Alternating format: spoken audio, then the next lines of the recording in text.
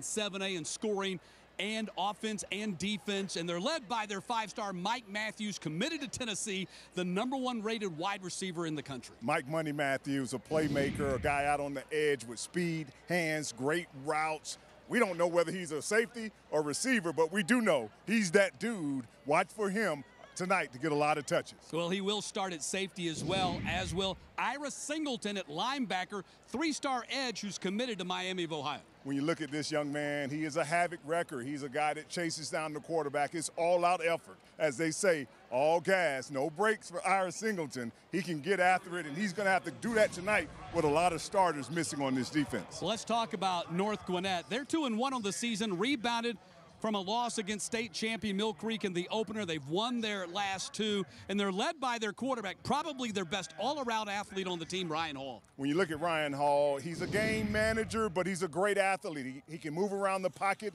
he can extend the plays, he can work the pocket, and he can run the ball. And that might be the key for them to have offensive success tonight, him and what he can do running the ball. Defensive side of the ball, Cole Funderburk, who's now a junior. We've talked about this young man before, now has eight offers, including including Georgia Tech and Georgia Southern. What a great football name. Cole Funderburk, a sack master right now. He gets after the quarterback. He's just built for this position. Three star. He has all the talent playing across the field. Look for him to move up and down the line to try to affect this offense. And he already has 20 quarterback sacks in his young career. So North Gwinnett and Parkview going to be a fun one. Let's start the carousel and send it to John Nelson.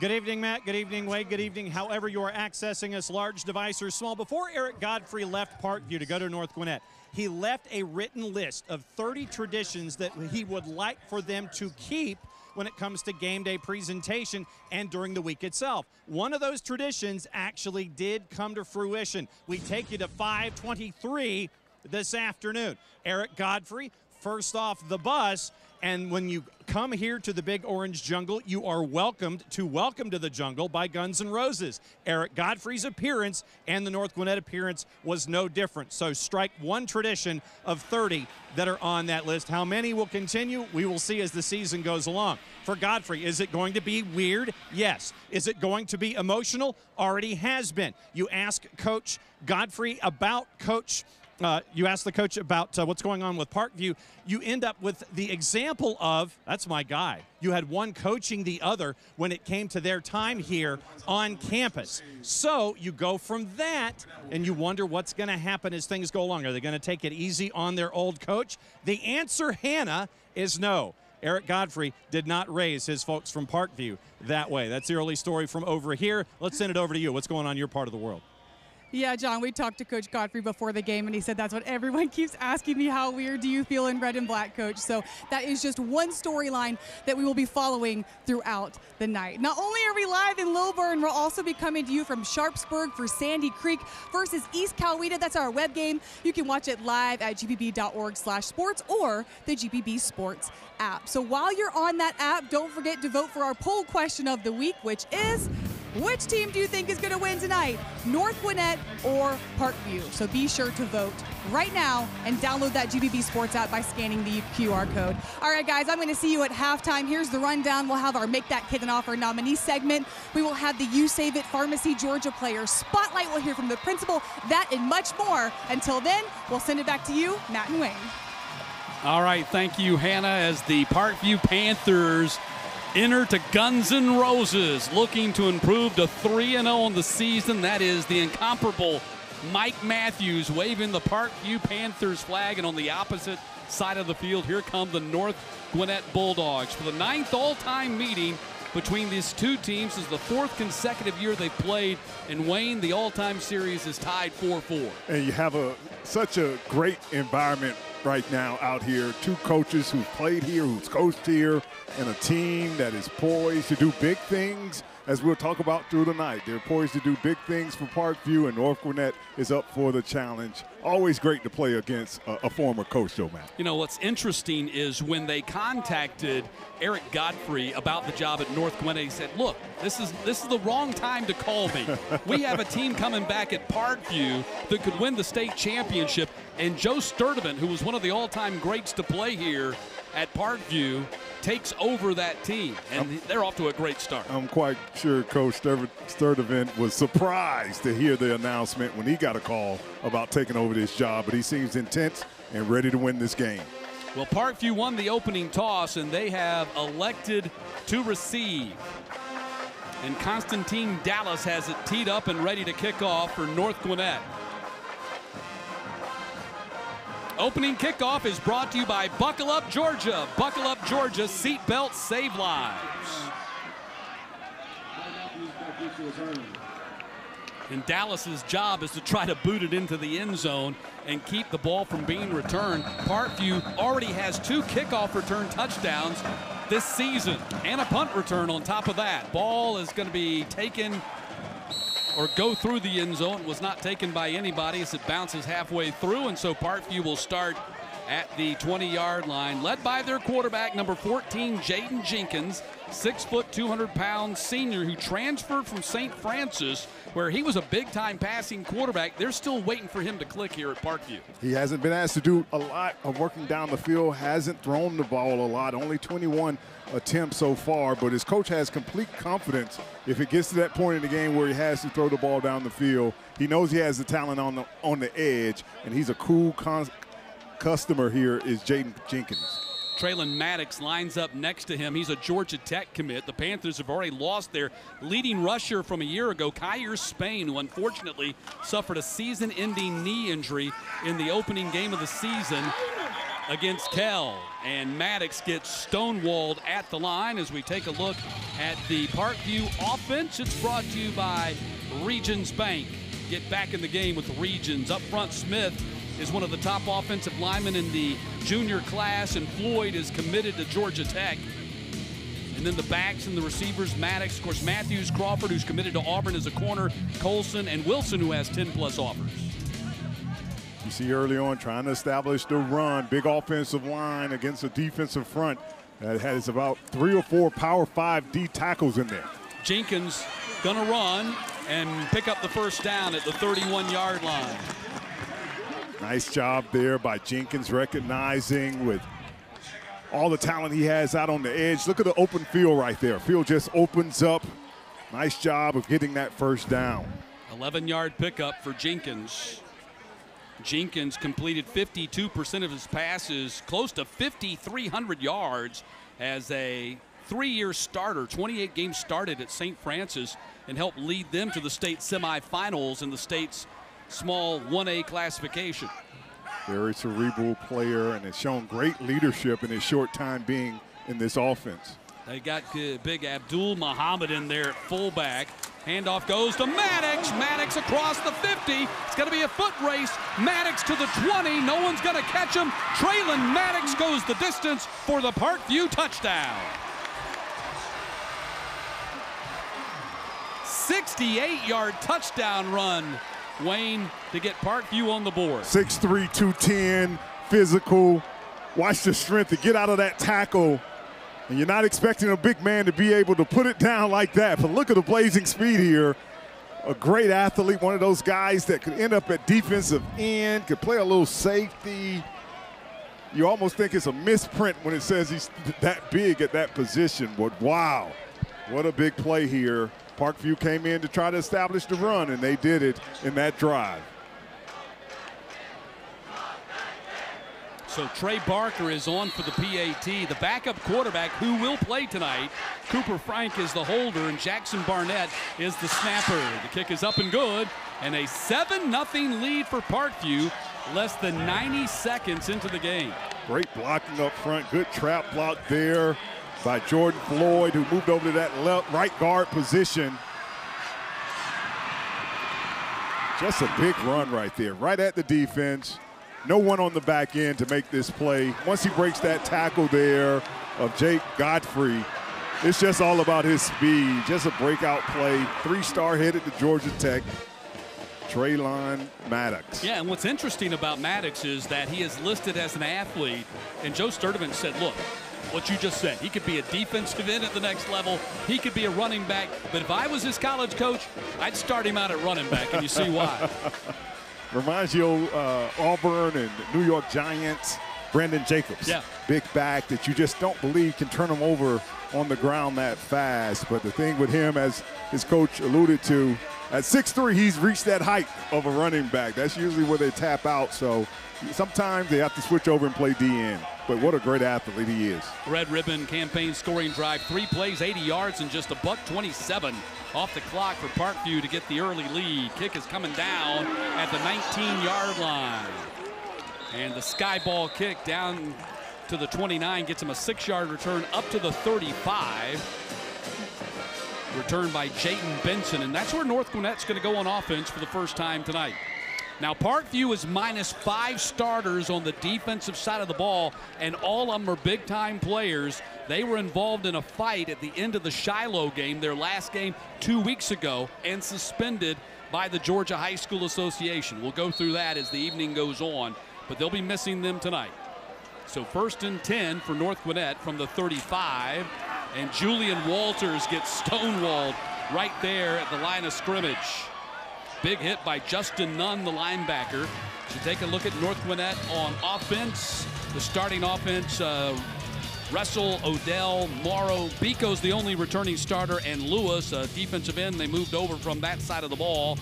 And the backs and the receivers, Walters, Bookman, Campbell, Morton, and Halcomb. Halcomb getting the start. Their speediest and fastest and most productive wide receiver, Eric Ronning, unavailable tonight. He's Personal out with foul. the virus. Defense. Be a 15-yard penalty from the end of the run. Results in a first down. and Cedric Cooper, our referee working tonight's ball game. Look at the rest of the officiating crew. So that's a big penalty here on Joe Sturdivant's team. Uh, Joe Sturdivant, what a resume this guy has. We'll kind of go through that as he goes through the evening. He's coached and played in Europe. Been a long and winding road for him to get back to his alma mater. Pass complete out on the edge. Nicholas Bookman with the catch in a short game. Nice job there, Jalen Crawford, getting off the block there of Sam Holcomb to bring down on that tackle. And, and what talent out on the edge in this secondary. Uh, as you say, a couple of starters out, but they still have so much talent, so much depth on that secondary end. among the starters out, their safety Zealous Hicks, the four-star sophomore, number three rated safety in the country. He's going to be one of the top players in the country, regardless of position by 2026. Hall with the run, and a big run by Ryan Hall. This guy is so impressive. He was forced into duty last year when Ethan Washington went down with a knee injury in spring practice. Quarterback counterplay there from the jump. Nice kick out there by 23 Horton. Nice reading of the block there by Ryan Hall. We talked about his ability to move around. His ability to run is key to this game. 18 yard pickup for Hall. He's receiving interest from South Florida and Central Florida early in his career. And a nice pursuit from the backside edge. And that is Ira Singleton who gets the TFL. Always headed to the ball, Mr. Singleton here. Once again, trap play, counter play, out on the edge. But Ira Singleton working down the line, that long, lean body. What an athlete, one of those guys, as you can see, hand kind of wrapped up there on the right hand mat, still making plays on the field. Already has 10 and a half TFL this season. Hall fires. It is caught at the 23 yard line. Going to be close to a first down on the reception by the tight end, Hudson Morton, his fourth catch of the year. Nice read there by Hall. Looked off over at Nicholas Bookman out on the edge, then went back into the middle of the field to Hudson Morton, uh, Doug Horton, uh, and just made a play right there. Nice job, nice drive so far by Hall. Third down and one. Big conversion coming up right here. Handoff goes to Walters, and he will have the first down. Nunn tackles him, but not in time to keep him from picking up the first at the 19 yard line as we take a look at Parkview on defense, brought to you by Regions Bank and Muhammad and Stiggers stepping in for Mapp and Nesbitt. They've been suspended. Johnson's the transfer from Brookwood. You got Maddox, Nunn, Singleton, and Robinson on that second line. And this is a Power Five secondary right here with Ferguson, Washington, Matthews, and Crawford. First and 10. Ball complete and down to the 11 yard line. Nice movement on this drive by the Bulldogs as Bookman gets his second reception of the drive. Nice job by Bookman getting this ball, making Mike Matthews miss here in the open field, which is a hard task, picking up positive yards there out on the edge. Those are the kind of plays. They're going to have to make break some tackles against such a great defense on the back end. Second down and four. Handoff goes to Walters. He tries the middle of that defense and finds little running room. Stopped at the 11. Pickup of one on the play, and it's going to bring up third down and three. The tough running, you still have to test that middle. It's a lot of weight inside with Jeremy Johnson and Abdul Muhammad. As you can see, big bodies, number 90 and 54. But you have to keep this defense honest as you try to work out on the edge. Ninth play of the drive. It's been a good one so far. Started at the 35 yard line. They've already converted one third down on this drive. They're only 35% so far this season.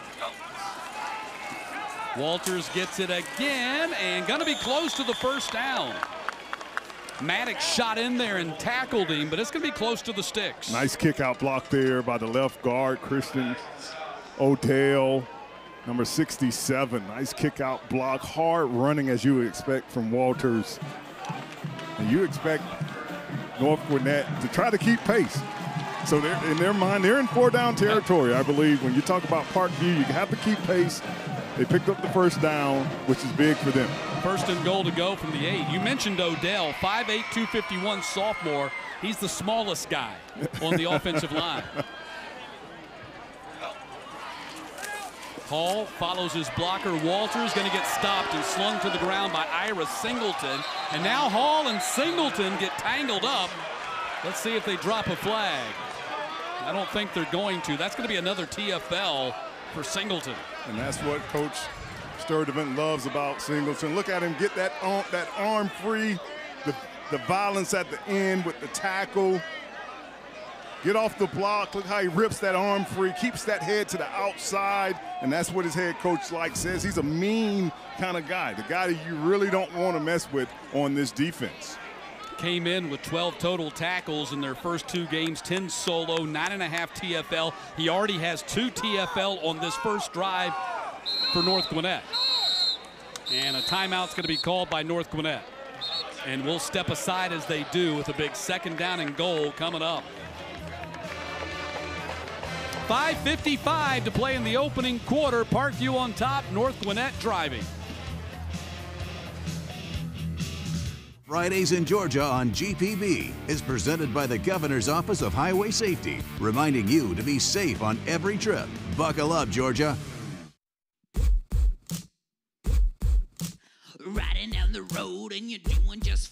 A car in front of you crosses over the line. They're in your space, not looking at your face. Distracted drivers all over the place. Say, we will, we will buckle up. Sing it. Say, we will, we will buckle up.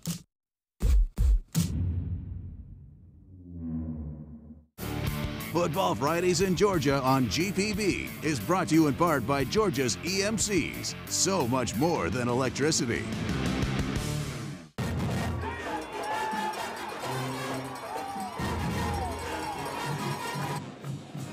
Welcome back to the Big Orange Jungle. It's that time to catch up with our friends here at Parkview. Nick Gass, the athletic director, and time to give our $1,500 donation from our friends from Signet. Coach, thanks for being a great friend of Football Fridays and a great friend of GPB. We love having GPB here in the Big Orange Jungle. Thank you for coming, and thank you to Signet for this check. This will really help us. Thanks for hanging out with us tonight. Back upstairs for the rest of the first quarter to Matt and Wayne. All right, thank you, Nelly. Second down and goal coming up from the 10, and we love being out again. This is our second game back, and you and I are just having a lot of fun being back on the venues. We take a look at the keys to the game. Wayne, they're brought to you by Breda Pest Management, official pest control of high school football. North Gwinnett, as you can see in this drive here, establishing the run. They're doing it with Ryan Hall, but they're going to have to run the ball and try to wear on this defense and for Parkview contain the quarterback.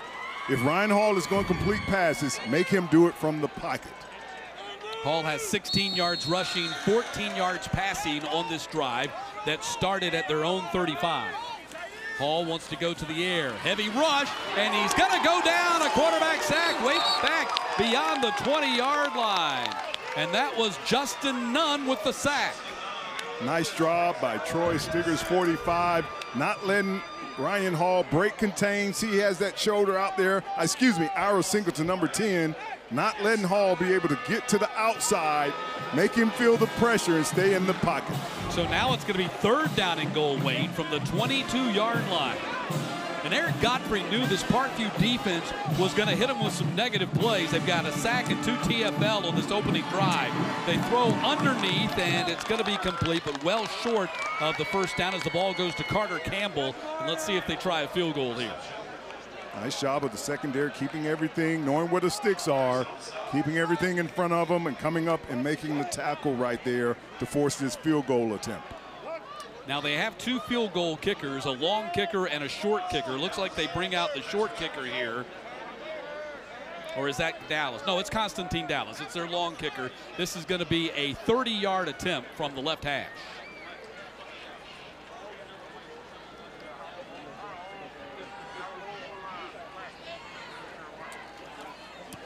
Kick is up. Looks like it's going to be good, and it is. A 30-yard field goal for Dallas and it's a 7-3 game.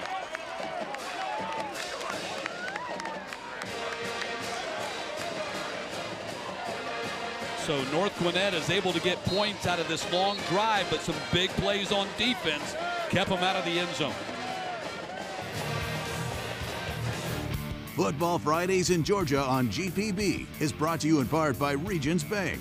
Get back in the game with Regions Bank. At Regions Bank, we're here to listen to your needs and we'll customize a plan to help you reach your financial goals. Our service to Georgia goes beyond banking to creating more inclusive prosperity in our communities. From education to financial wellness to economic development, we're working to level the playing field so more people can succeed and our communities can thrive. While we've got a quick break in the action, did you know that the same area of just one football field can contain up to 95 termite colonies? That's why you need Breda Pest Management to defend your home. Breda, the official pest control of high school football. Let me know if I can help you with anything. Just looking. I only buy local and sustainable, so. Oh, well, that shirt's not local. You should be wearing cotton. Georgia's a major supplier of cotton worldwide, so if you'd like to buy local to support Georgia, buying cotton's a great place to start. It's renewable and sustainable, naturally. Thanks. And that's a polyester fiber made of oil, by the way. Where's your dressing room?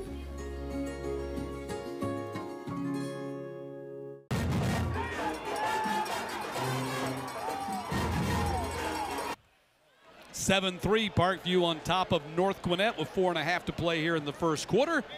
Use your phone right now to scan the QR code on your screen and download our free GPB Sports app to get scores from every game around the state tonight and anytime you want to. You can also watch tonight's game on the go, get the latest team rankings, schedules, and a whole lot more.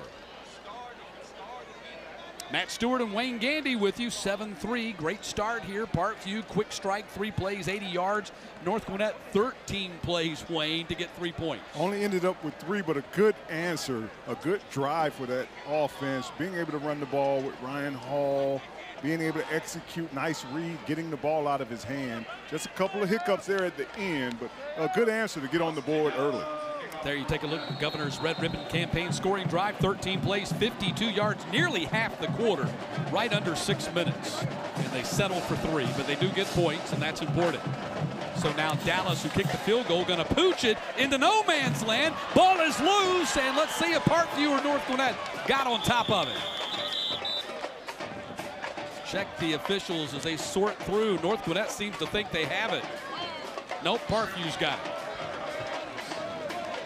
Nice job by Constantine. Little pooch kick right over the head of Ellis Appleton.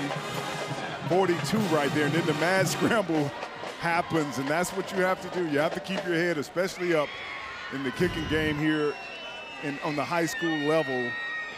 That's Chandler down right yeah, there. that's Chandler Jordan, their left cornerback, and he's their highest rated player on the roster a three-star safety who plays corner. Really good-looking athlete at 6'3", 190. Already has five offers from Georgia Tech, Tennessee, and Auburn, just really starting his career. He's just a junior. Hopefully, it's just the air out of his lungs. A lot. It's a very dangerous jumping on that ball. When the ball is for a scramble, sometimes you just lay out, end up falling on the ball, and it knocks you, your win away.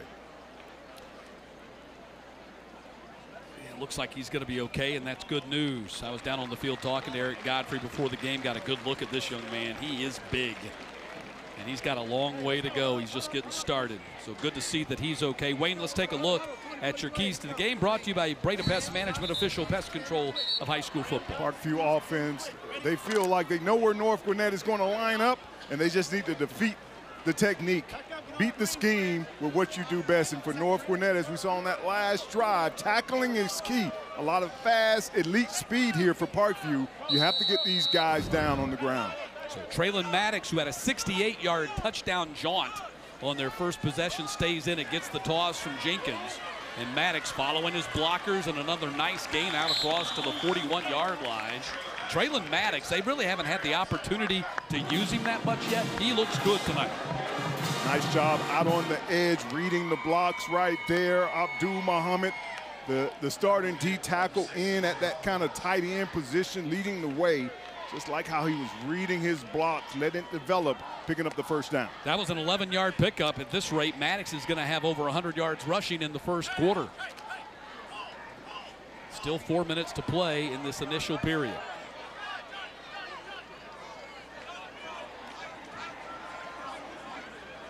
Trip set left here, trying to draw the defense out. Maddox this time runs right into the teeth of the defense. Very little gain as we take a look at the North Gwinnett defense brought to you by Regions Bank. Brock, Kyle, Seymour, and Funderburk. And yes, London Seymour is the son of Pro Football Hall of Famer Richard Seymour. Gist Godfrey, he is the son of the head coach Eric Godfrey and Mazzone. Mazzone's their leading tackler. And in the secondary, Jordan and Davis, big corners, Hollenquest and Whedon are the safeties. Chauncey Davis is the son of one of your former teammates, Chauncey Davis, the defensive end for the Atlanta Falcons. Former teammate of mine, so I know one thing Chauncey brought to the field was hustle and effort. So you expect his son to bring that same at that corner position. Jenkins, it goes through the hands of Carson Wilson. Wilson, their second leading receiver, 10 plus offers, including Middle Tennessee and Charlotte. Good ball there by Jenkins. Wilson just not coming down with the ball, and you can see Parkview running the ball inside and then trying to get it to these talented receivers out on the edge. They haven't really tested this defense on the back end with some deep passes, so you expect here maybe some double moves here soon. Well, they're always looking for single coverage on Matthews because he's almost always double. If at any time Matthews is in single coverage, the command is to throw him the ball. Third down. Jenkins scrambling now, chased by Funderburk on the run and throws, and there's Matthews. He slipped underneath the defenders and caught it and picked up the first down. Nice job extending the play there by Jenkins. Just sitting down in that zone area there was Mike Matthews. You can see him. He sees his quarterback in trouble. Watch how he settles. Let the defense pass him. What a receiver right there. That's what you want. You want your receiver thinking as you are moving around. Nice job of just letting the defense flow past you, settling down in the zone, coming up with the catch. Eight yard pickup for Matthews. Number one rated wide receiver in the entire country. Jenkins, ball sails on him, almost intercepted back there by Gist.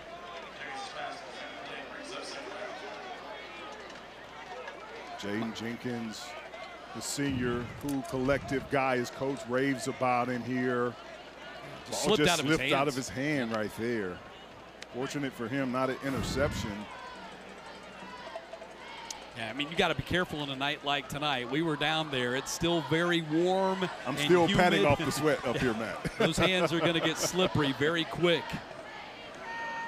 Second down and 10. Going with the hard count is Jaden Jenkins drawing his defense offside. Defense pointing at Mike Matthews. Maybe he started early and drew everybody off. Cedric Cooper going to bring his crew in and talk about it.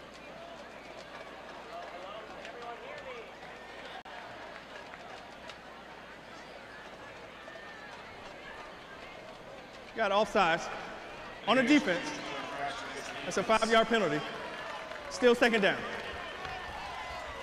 So it'll be second down and five. Eric Godfrey coaching on the visitor sideline for the first time in his life. Played here at Parkview, was a senior in Cecil Flowe's first season, came back, was part of their great three straight championship run, was an assistant coach, went off to become a head coach Loganville, and then for the last nine years until this year, the head coach here at Parkview. Now the North Gwinnett head coach. Bill Stewart joined Brent Key's staff at Georgia Tech. Handoff. Not much doing on that carry right there. That was Maddox again. Parkview is lined up in this trips left set about five times here so far I've counted tonight. They're trying to identify man-to-man. -man. They're looking, Jaden Jenkins, he's looking to see if his man or zone, as you talked about, Matt, if he can get man, he's going to throw this ball here out to Mike Matthews down the field. Seventh play of the drive. It's third down and three.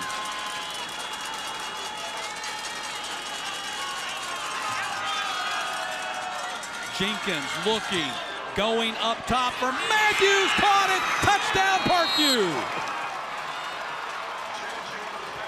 I wish uh, I, I, wish I could tell you that I'm surprised, Mattis, but as we said, if Jaden Jenkins at quarterback looks out on the field and feels that the defense is playing man-to-man, -man, as you can see, he looks the receiver down the whole play. He's going to throw, and look at that beautiful catch. This is how you can become the number one rated receiver in the country. Jaden Jenkins, no question in his mind, is man defense. The foot race with Chauncey Davis right there is Mike oh. Matthews and yeah. a touchdown for Park. No, he didn't get in. They, they called him oh. out at the two-yard line. He stepped out of bounds at the two-yard line. So first and goal to go from the two. I thought it was a touchdown as well. Jenkins and Jenkins gets stopped inside the one. The catch by Matthews threw him off balance just enough where he couldn't stay in bounds.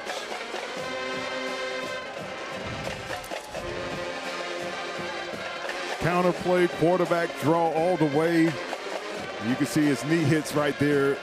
Jaden Jenkins right before the ball crosses the line. So second down and goal. Maddox lines up next to Jenkins to his left. And the keeper, and that's going to be a TFL as Maddox gets stonewalled behind the line of scrimmage.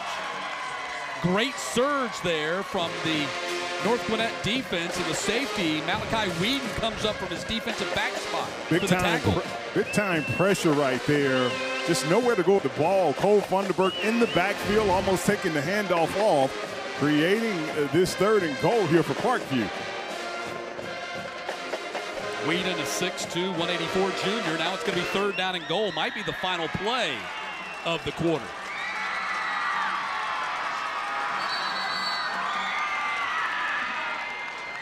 And Parkview might have moved. False start. Offense. Five-yard penalty. Still third down. So, wow, that really changes the dynamic here. They had it first and goal at the two. 55, 55, 55. So third down and goal now from the seven. So I'm guessing that 55, which is Josh Haynes, must be eligible or something. You heard the official say 55, so Haynes must be lined up at the end of the line.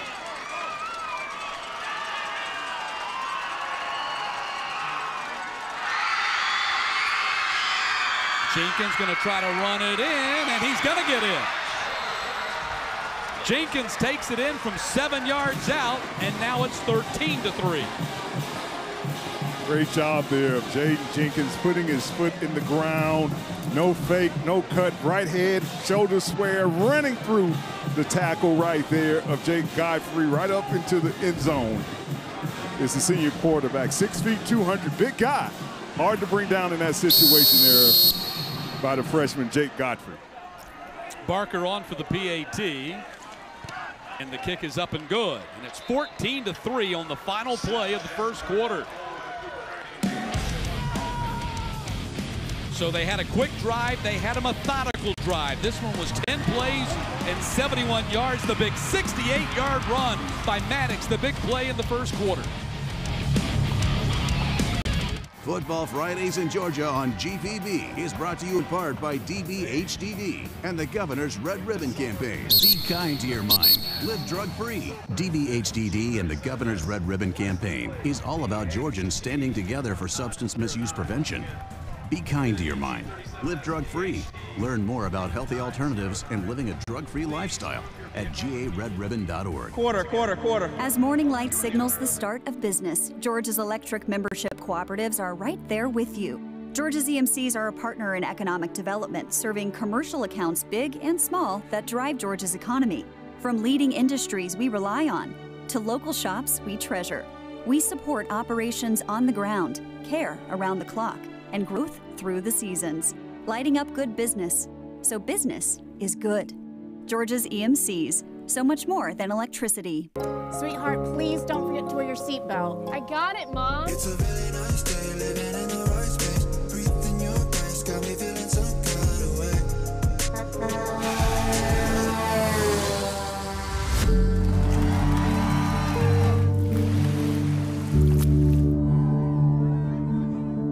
In the blink of an eye, so many tomorrows can disappear. Buckle up for your future, every trip, every time. A message from the Governor's Office of Highway Safety.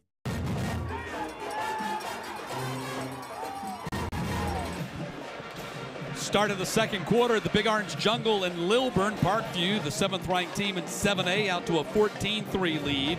Or North Gwinnett, Matt Stewart and Wayne Gandy. And Wayne, this is the seven yard touchdown run by Jaden Jenkins. Just a power play off the right side to Jaden Jenkins, big quarterback at six feet, 200 pounds to fish off right there. And what you love about is the physicality to break that tackle to get in the end zone. What an answer by them. They come out with three plays, score a big touchdown. North Gwinnett goes down, kicks a field goal to get on 7-3, and then they take the ball and drive on a big play to Mike Matthews to put another seven on the board. Jenkins 44 yards passing and 19 yards rushing in that first quarter. Alyssa Barnes.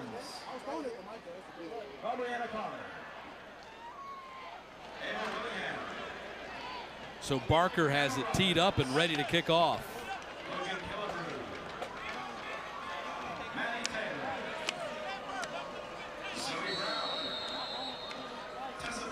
Ronning, who typically is their kick returner, he's out with the virus. Kick is coming down at the 20, checks up and bounces backwards.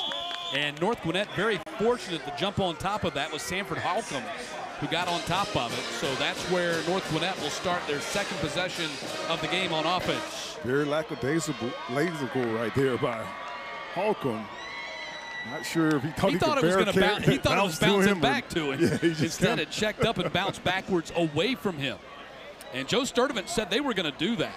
He said, "Look, our, our guy Trey Barker's been working on the sky ball. He thinks it can be a very effective weapon, and that's twice now they've effectively used that kickoff strategy."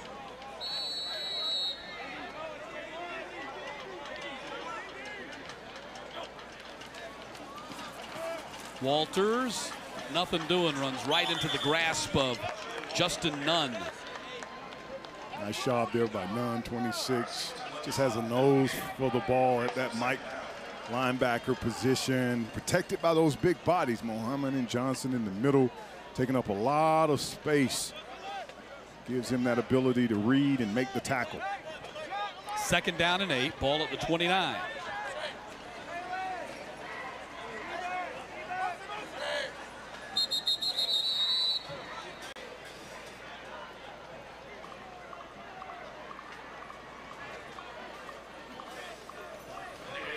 Offense.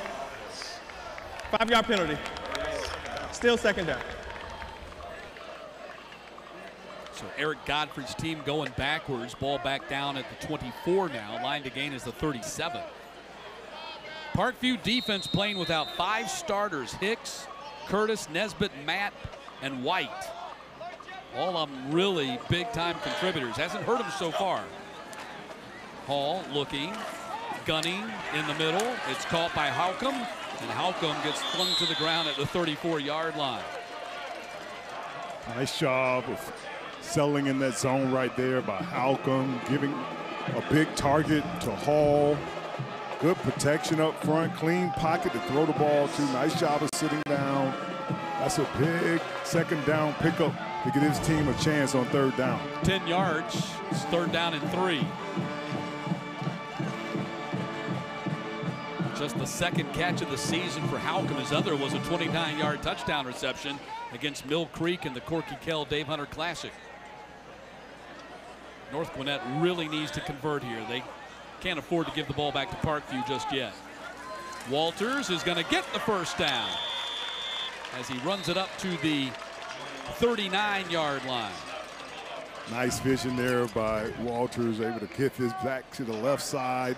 One hard cut running over 23 Robinson to pick up that first down. And as you alluded to, Matt, big first down there with the momentum that Parkview has offensively. You need to get another drive, try to wear on this defense and see if you can put points on the board.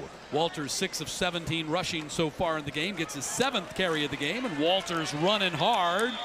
Another strong pickup up near midfield. Walters is not a guy who's got great breakaway speed, but Coach Godfrey says pound for pound, he's probably the strongest guy on the team. Yeah, just a true baller. 5'9", about 185. You can see how he runs behind his pass. Legs always churning. Nice job by him. We talked about them establishing the run game. First drive, they were doing it with Hall right now, trying to get Walters going. Second down and two. Walters gets it again, and Walters is going to have himself a first down at the 47. So, Wayne, you see a theme developing here. North Gwinnett wants to be methodical, wants to run a lot of plays, wants to burn a lot of clock, keep the ball out of Parkview's hands. They call that taking the air out of the ball. You can't give this explosive offense the ball that many times. You have to have long drives. Now, you need to take those long drives when you play. You got to get in the end zone. Yeah. But this is the the correct strategy to attack Parkview with. Hall keeper spin move right there in the middle of the field until he gets stopped at the 41 yard line. Showing some athleticism right there. Malachi Washington, the sophomore safety, playing in place of the suspended Zealous Hicks, makes the tackle. Good athlete. He's Ryan Hall, nice job with the spin move. Good vision. And that shows you that mental toughness, the gamer in him to make that kind of move as a quarterback in the middle of the defense. Nice job by him. Lets you know what kind of leader he is and, and how into trying to get this victory. Seventh play of the drive. Hall to the air, and it is caught. Juggling catch by Carter Campbell for a first down. Dangerous pass out here on the edge, especially when you talk about talk, uh, challenging the talent they have in the secondary. Nice job there by Campbell, concentrating, getting that pickup. Campbell had five catches in their first three games. He already has at least two tonight. First and 10, ball at the 26. Walters gets it again, just running hard between those tackles. Walters gets a couple of yards right there. That Power. was Maddox making the tackle. Power off the right side, Christian Odell. As coach talked about it, that's one thing, even though he's a sophomore, could still be on the JV level. Uh, he's a good puller, getting out on the edge. And North Gwinnett is executing their game plan. They just got to get into the end zone. Walters, nine carries, 33 yards. Under eight minutes to go here in the first half. Walters gets his 10th carry of the first half. This time it's Nunn again who makes the tackle around the legs. Four tackles for Justin Nunn already in this game. Just a nice job of reading. Great tacklers just know how to sift through all the bodies, getting down in the legs right there of Walters and getting him down. It's Justin Nunn. 6'2", 205 junior, replacing the injured Kyer Spain, who was that starting linebacker and running back until his unfortunate knee injury in the season opener against Kell. You just hate to see that. Senior had a spectacular junior season. Third down now.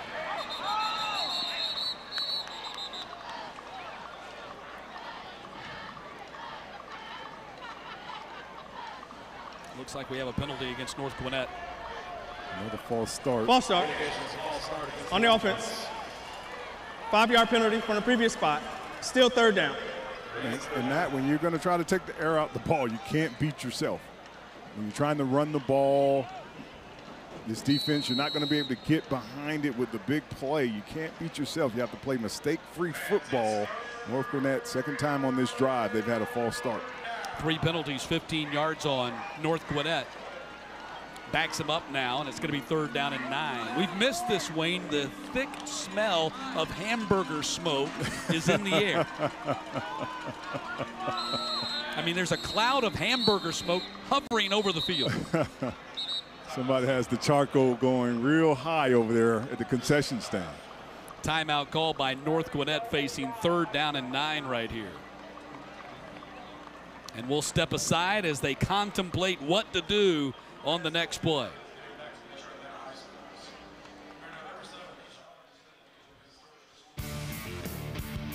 Football Fridays in Georgia on GPB is brought to you in part by Cigna Healthcare. Cigna Healthcare is a proud partner of Georgia Public Broadcasting and Football Fridays. Cigna Healthcare's mission is to improve the health and vitality of those we serve. Visit Cigna.com to learn how you can support your physical and emotional well being. Riding down the road and you're doing just fine when a car in front of you crosses over the line. They're in your space, not looking at your face. Distracted drivers all over the place. Say, we will,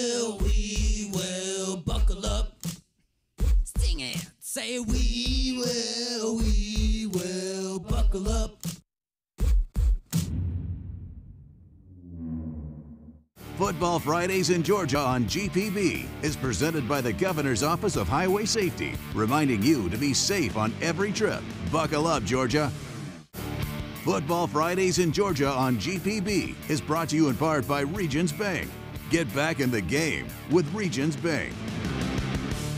Half of the nation's opioid overdoses happen right at home because people don't understand the dangers of taking an oxy or perk with a glass of alcohol for stress or to sleep. Learn how to protect your family from opioid overdose at opioidresponse.info.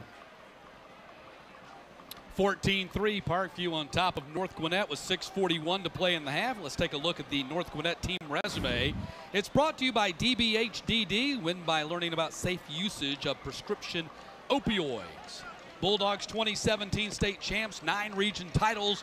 Been to the playoffs all but once in the last 19 seasons. Last year in Bill Stewart's final year as the head coach, 10 and 3. Region champs and state quarterfinals. And this is the 62nd year of football at North Gwinnett. Program started 1962. Facing a third down and nine here. Matt Stewart and Wayne Gandy, John Nelson and Hannah Good, and she'll be with you at halftime. Stick around for that. Big play coming up right here for the Bulldogs. Hall looking to the air, right there in the middle, is juggled and intercepted. Maddox with the interception. So Maddox getting it done on the offensive and the defensive side of the ball tonight. Little drag route underneath the Nicholas Bookman. Nice find by Ryan Hall. Just not able to come up with the catch. Surprise, surprise there to Traylon Maddox, who looked up and the ball was in his hands. As you can see, nice read. Ball behind him a little bit there. You want to lead him there, Ryan Hall. Bookman not able to come up with it. The ball in the air, as you can see, just pops right in front of Traylon Maddox.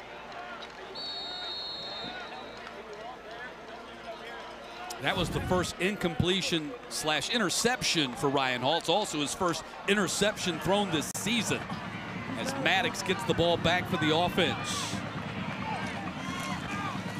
And now Rouse is in there. And Cooper Frank is in there at quarterback. And Cooper Frank throws the ball complete to Carson Wilson. And we were told, third series of the game, that Cooper Frank, who's been very good in practice, neck and neck with Jaden Jenkins, would get the ball and would snap it here. Coach Sturdivant has complete confidence that Cooper Frank, the junior, can come in and run the same offense. He has the arm talent. He's, he's earned it, as his coach said, to be able to get some playing time, especially early on in the season. You want to develop your quarterback. Never know when injuries will strike. Well, when Joe Sturdivant was a coach in Europe, he led a team to the German national championship, rotating a quarterback on every play, just like old Steve Spurrier used to do.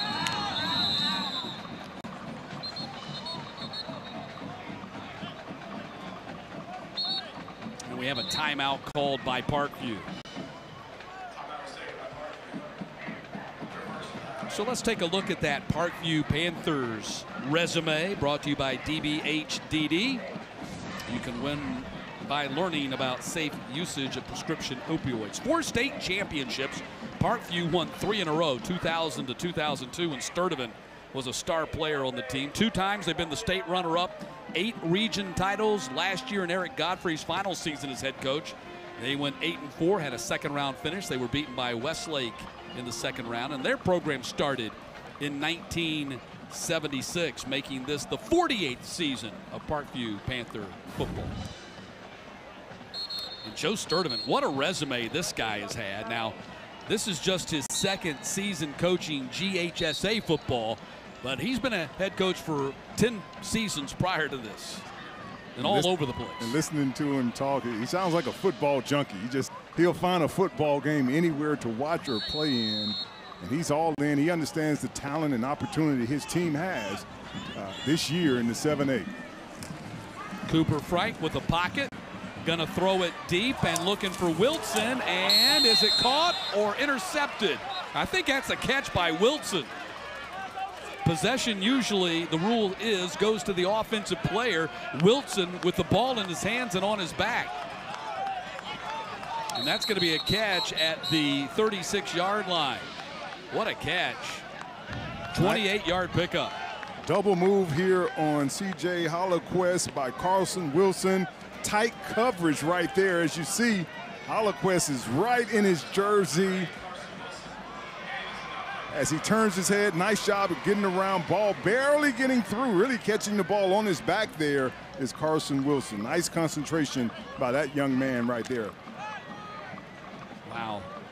Wilson, who Coach Sturdivant says is Mike Matthews. They look the same. Only difference is Wilson is two inches smaller. And that's the biggest difference that they have in their recruiting as well. But he tells teams all the time, you're crazy if you're not recruiting Carson Wilson. So a timeout on the field with 5.15 to play in the half. Parkview up by 11.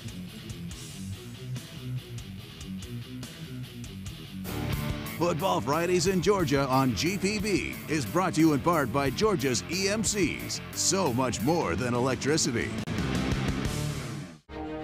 In lively towns and peaceful rural areas, Georgia's electric membership cooperatives are on a mission to provide a different kind of electricity.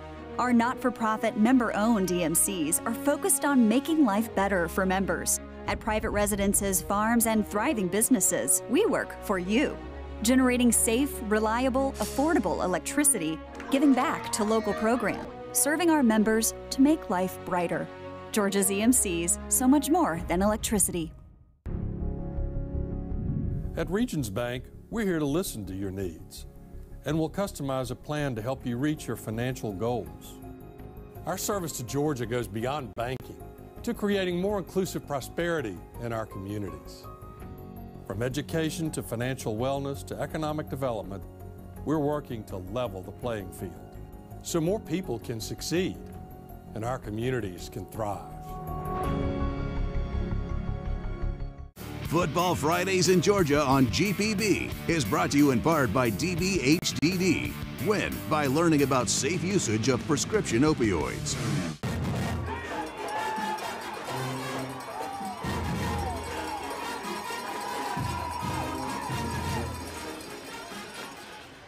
Welcome back to the big orange jungle, jungle here in Lilburn. It's North Gwinnett versus Parkview. Panthers on top 14 to 3. Coming up in just a few minutes on the Regions halftime show, we are going to have a fun one. We will have our Make That Kid an Offer nominees.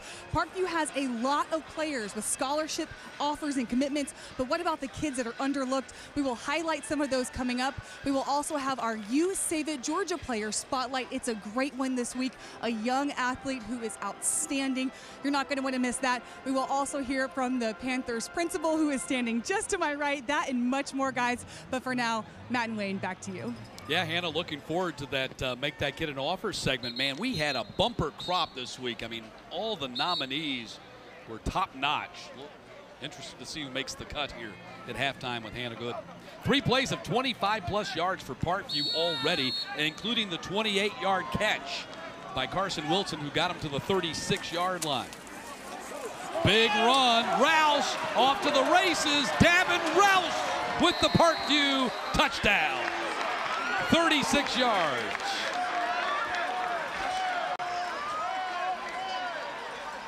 Dalvin Rouse, physical, shifty inside, counterplay. Once again, pulling the guard and center. Kick out blocks. The defense kind of losing Dalvin Rouse in the mix. Nice job going in the end zone untouched. Barker on for the PAT. This Parkview team is just so explosive. And Sturdivant said, look, we really haven't had a chance to stretch our legs offensively. PAT by Barker is up and good, and it's 21 to 3. But Rouse, the second back to touch the ball tonight, and he's dangerous too. Nice job there by Robinson and Jordan Floyd, the three-star Georgia Tech pulling here. Kick out block, power block right there. And then just the speed of Dalvin Rouse, just one of those guys that's going to be hard to run down. That was actually Brian Stokes, pardon me. I thought it was 21, it was 31. 31. 31. Brian Stokes. What makes him even faster, the Yeah. glitch, as his coach called him. Nice job there, blocking, executing up front. Explosive offense of Parkview. We talked about North Gwinnett, why they're trying to milk some of the clock. You just can't. This offense has just so many tools, and, and one of the fastest offenses North Gwinnett is going to see. So Brian Stokes, who's just a sophomore and been offered by Marshall with the 36-yard touchdown runs. My apologies to him. And an 18-point lead for Parkview with five minutes to play here in the first half.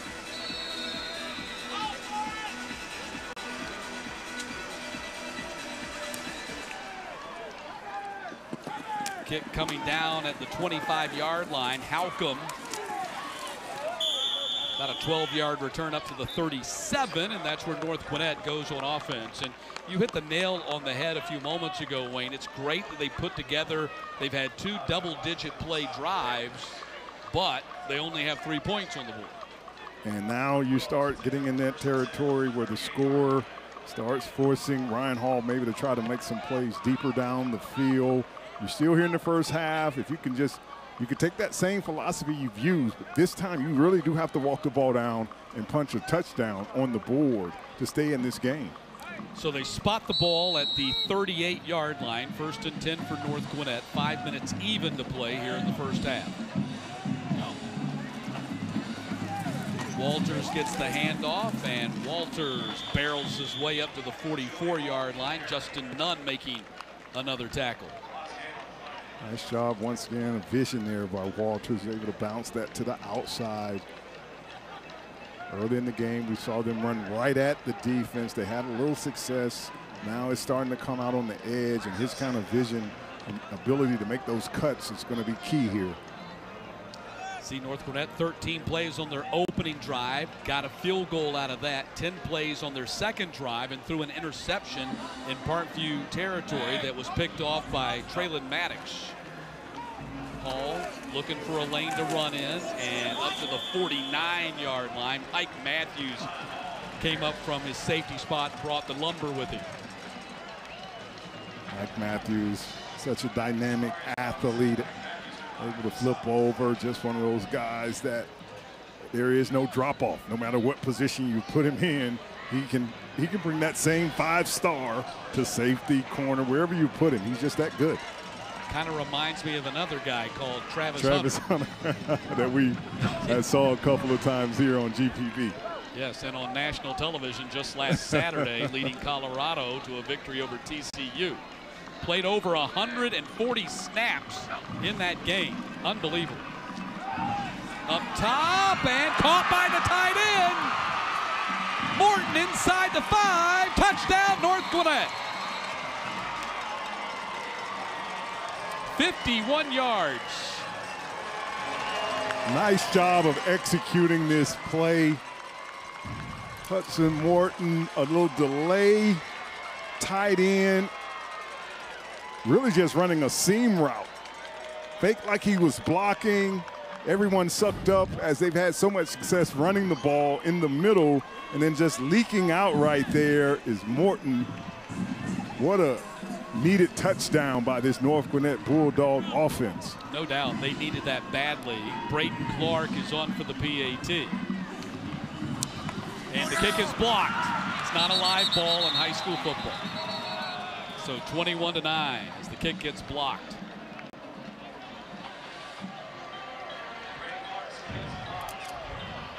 Selling out on the run, same action they've seen countless times tonight. Biting up are the safeties. Leading out late there is 23 Morton for the touchdown. We knew at some point, being down 21 to 3, this offense might have to try something down the field. Not necessarily a trick play, but a great design play, taking advantage of the aggressiveness of the defense there. Here's a look at your governor's red ribbon campaign scoring drive. Three plays, 62 yards, just 122 off the clock, and the 51-yard touchdown catch by Hudson Morton. They do a very effective job of using Morton and Brumbelow in their passing game. They're two tight ends. They don't have the deep threats that maybe they've had in the past. So a little bit more of a controlled passing game. Great catch by Morton right there to get him back in the game. And Hall is 7 of 8 for 99 yards with that touchdown pass you just saw, and of course, one interception as well. So Dallas has it set to kick off. Let's see if he tries to kick it deep or find a hole in the kick coverage. Gonna kick it line drive to the 14 yard line. Wow, some heavy hitting downfield. Returned by Jay Crawford, Jalen Crawford. 20 yard return. He's the Auburn commit, Wayne. He's a four star corner. He's committed to your alma mater. Am I allowed to say War Eagle? can. Okay, War Eagle there, Jordan. I mean, Jalen Crawford out there. Nice job of him getting that ball and just getting what he can. No delay, catching it in the air and, and getting up the field. What a talent he is. And this secondary and this team in general, when they get those five or six, seven starters back, especially on the defensive side, you have to watch out, especially in the secondary. Jalen Crawford committed to Auburn on July 15th over 22 other offers, including LSU, Florida, and North Carolina. So North Gwinnett's defense back out there. Maddox back in there, as is Jaden Jenkins. And a flag comes out after Maddox gets just one on the play.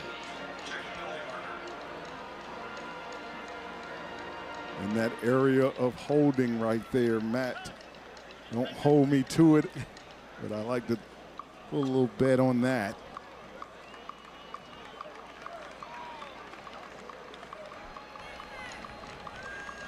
Holding. Offense. 10 yard penalty from a previous spot. Still first down. Offensive lineman knows holding when he sees it, right? oh. That'll back him up 10 yards. Big offensive line has done a great job so far. Um, just watching them work. The coach talked about how they will sacrifice and move positions just to make up the matchup they need. Jenkins running, and Jenkins going to be run down at the 31 yard line. That was Jake Godfrey, the freshman Mike linebacker and son of the head coach.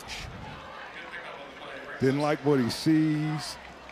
Got outside making, and we've talked about how strong of a runner he is, is Jenkins. He gets out on the edge. Nice job of him. That's a nice pickup when you talk about first and 20, getting about half of that back on that play. Second down and 12 coming up. Jake Godfrey, six foot 197, freshman, coach's son. Eric, his dad, says it's a good thing I'm on the offensive side of the ball. The defensive coordinator, Mike Healy, gets to yell at him, not me. Second down. Pitch comes out here to Maddox, bobbles it, retains control, and gets dragged down at the 46 yard line by Funderburk. Lucky bounce there. Wilson coming around, fumbling the ball. Nice job of him bringing it in for the short gain. Creating this third and long. We really haven't seen this offense in third and long tonight that much. Third down and eight right here. Good look at Funderburk. 23 tackles on the season, five quarterback sacks, nine TFL already. Maddox, seven carries, 88 yards here in the first half, and a big first half for him. Also has an interception on defense. And Jenkins steps up to avoid the rush, throws, and man streaking open, knocked down at the last second. Super job by Whedon, the safety, to deny what would have been a touchdown pass. And this is one that Jaden Jenkins, when he watched film, he's going to want back. Middle of the field opens up right there. He can take off and get about 20 yards. He decides to air it out, trying to get to Colson. Nice job getting in the play there. Knocking that away at the last minute is Wheaton, 6'2", 180, big frame, getting that hand in there. But Jenkins had a lot of ground in front of him when he decided to throw that ball. And safety's been a sore spot for North Gwinnett this year. That was a big play by the free safety, Malachi Whedon. First punt of the night from either team, and this is a short one. It's going to hit at the 45 and kick out of bounds. So North Gwinnett going to get the ball in great field position with 136, one timeout remaining, and they've got a kicker in Constantine Dallas who can hit a 50-yard. Great time here to take a shot down the field. If you coach Godfrey, Todd Faulkner, the offensive coordinator, has, has called a good game tonight, doing what his team needs to do, executing up front in the run game, getting his team staying out of third and long. Let's see here if they come out and, and try to take a shot down the field, get a big chunk play. Of course, Todd Faulkner was a star quarterback here at Parkview himself.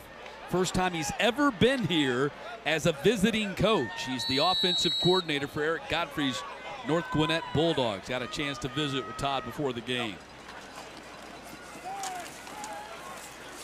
And the run by Walters. Not much doing right there. Nice tackle there by 42. Ellis Appling in the middle there. He's had a nice game along with his mate, Justin Nunn, in the inside. Surprised they, let's see, they're probably running some clock, and now they're going to take a shot to try to at least get it in field goal position, you would think. We're at 106 to play. Hall scrambling, going to step up to avoid the rush. Now he's going to take off and run. And going to fake and get out of bounds. I love watching Ryan Hall play quarterback. 18-yard pickup. I think he's got a big-time future as a dual threat quarterback at the next level if he doesn't play baseball instead. Parkview defense trying to keep Hall from getting outside. Great job of that backside pursuit. Lost their rush lanes. Nice job of Hall finding that back lane. Not able to throw for the big play, but picked up a big run there for his offense. Now they're in business. They only need about 10 yards, maybe even less than that, to be in field goal range for Dallas. Hall weaving through the defense, going to slide down. Might have to burn the timeout right here. He goes down at the 31, and they do use their final timeout. So now it gets a little bit more tricky because you don't have any timeouts remaining. That means in order to get your field goal unit out there, you're going to have to get out of bounds, throw it to the side because it's going to be tough. I mean, it's tough in the NFL and in college, but when you're talking about getting a high school unit running them on the field to try to get the field goal, it can get a little tricky. Still 47 seconds left in the half. Let's check in with John Nelson. Let's turn it into a multi-screen experience tonight. And our multi-screen, gpb.org slash sports, is down in Tyrone, Sandy Creek, and East Coweta. Eight and a half minutes to go and counting in the first half. We've got our first touchdown on the board, and it's East Coweta. PAT is pending. So right now, 6-0 pending 7-0. They got they did get the PAT, so it is 7-0 East Coweta second quarter over Sandy Creek. Our web game all season long brought to us by our friends at Breda Pest Management. Breda Pest Management, the official pest control of high school football. Back upstairs to you. Thanks, Nelly. That's a great South Side rivalry, and of course we saw a tremendous South Side rivalry rivalry last Friday night when went down to the final play of the game and Westlake defeated Cedar Grove 46-41. Hall eight carries, 39 yards rushing, 7 for 8 passing, 99 yards and a touchdown, 138 yards of total offense for Ryan Hall here in the first half.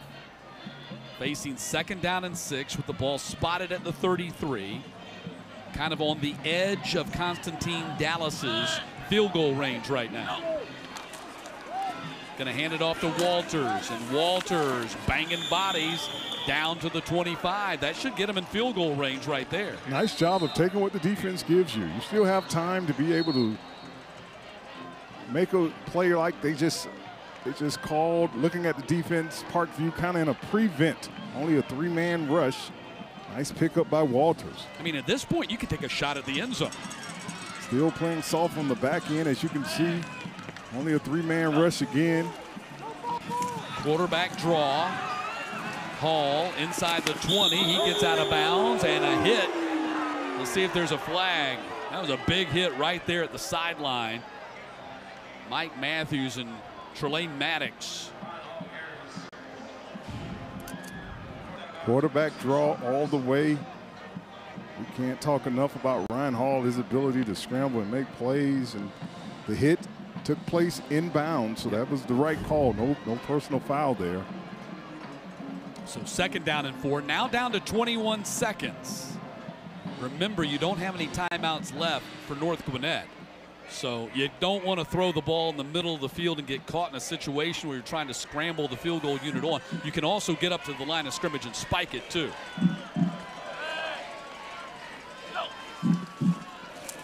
Going to throw it to the outside. It's caught and down to the 11 yard line. They're going to have to hustle. They get the first down. That stops the clock.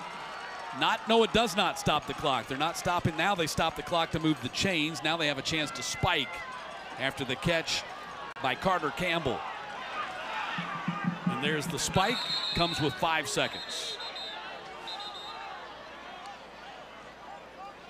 Nice job of executing, getting the ball out on the edge to Campbell to get that big gain. Great hustle by Singleton to bring him down. And then killing the clock is Hall. Coaches seem to be discussing the, call with the referee. They did a very good job of managing the clock there. They really did with one timeout.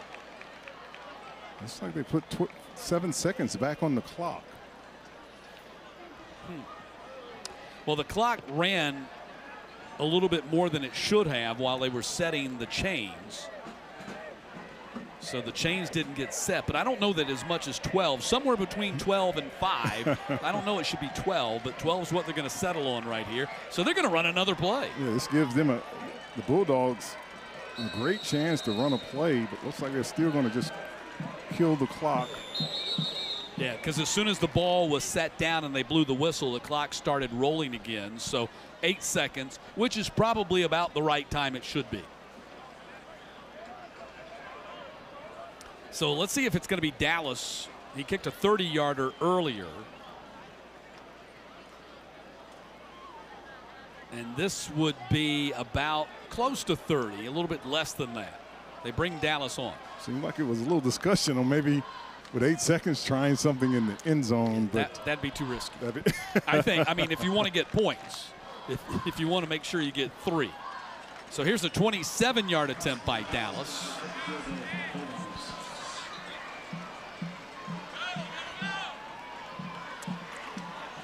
Kick is up, and the kick is good. Constantine Dallas pops it through from 27 yards. And with two seconds left in the half, it's 21 to 12. That's a good job by the holder, too. Sanford Halcomb, that ball came back. It was laying on the ground, and he got it upright. Eric Godfrey in his return to Parkview gets three. They're down nine here, basically the end of the first half. Nice drive there by North Gwinnett, using the entire clock to try to close this half out with points. They got what they needed. Constantine Dallas, especially in today's kicking game, you know, his coach having that confidence of setting him out there. Great job, great execution. And great job by Ryan Hall leading that offense, being able to take what the defense does you. Eric Godfrey, 20th season as a high school head coach at Parkview, 70 wins, Loganville 53. He was a three-year starting tight end at Presbyterian. And in high school, he was a senior tight end on Cecil Flowe's first season back in 1993. He was also the fourth-ranked wrestler in the state. Yeah, I, I, that stood out to me right there, Matt. I should have asked them about that. Uh, line drive kick right there on the front line, and that's going to be the end of the half. So Eric Godfrey going to take his team into the locker room. They're down nine, but they got a little momentum as they head into halftime. North Gwinnett did a great job offensively executing what they came out to do, run the ball, take some long drives, Parkview as well offensively, explosive plays. That's what they're built on. So both teams really kind of established what they wanted to in that first half. John Nelson's going to grab Joe Sturdivant here and see what he has to say. Let's send it down to Nelson. Thank you very much, Matt. I know you've got a nine-point lead, and I know that you're also looking at penalties and missed opportunities here in the first half, too. Yeah, we got some penalties, and that, that cost us, uh, elongated some of their drives, and it cost us big on when we really needed to go down and score. Um, but we'll make those adjustments and keep our hands inside and not hold.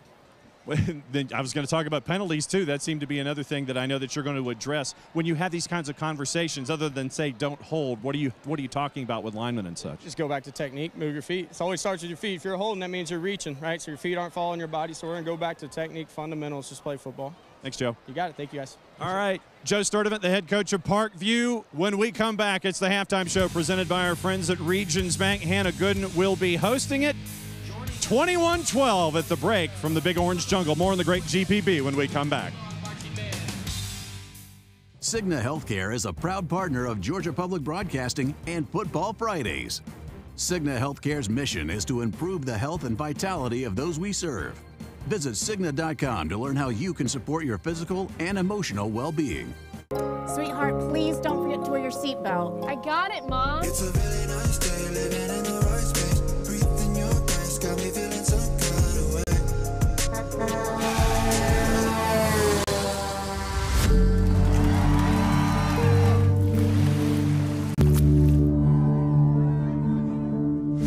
Blink of an eye, so many tomorrows can disappear. Buckle up for your future, every trip, every time. A message from the Governor's Office of Highway Safety.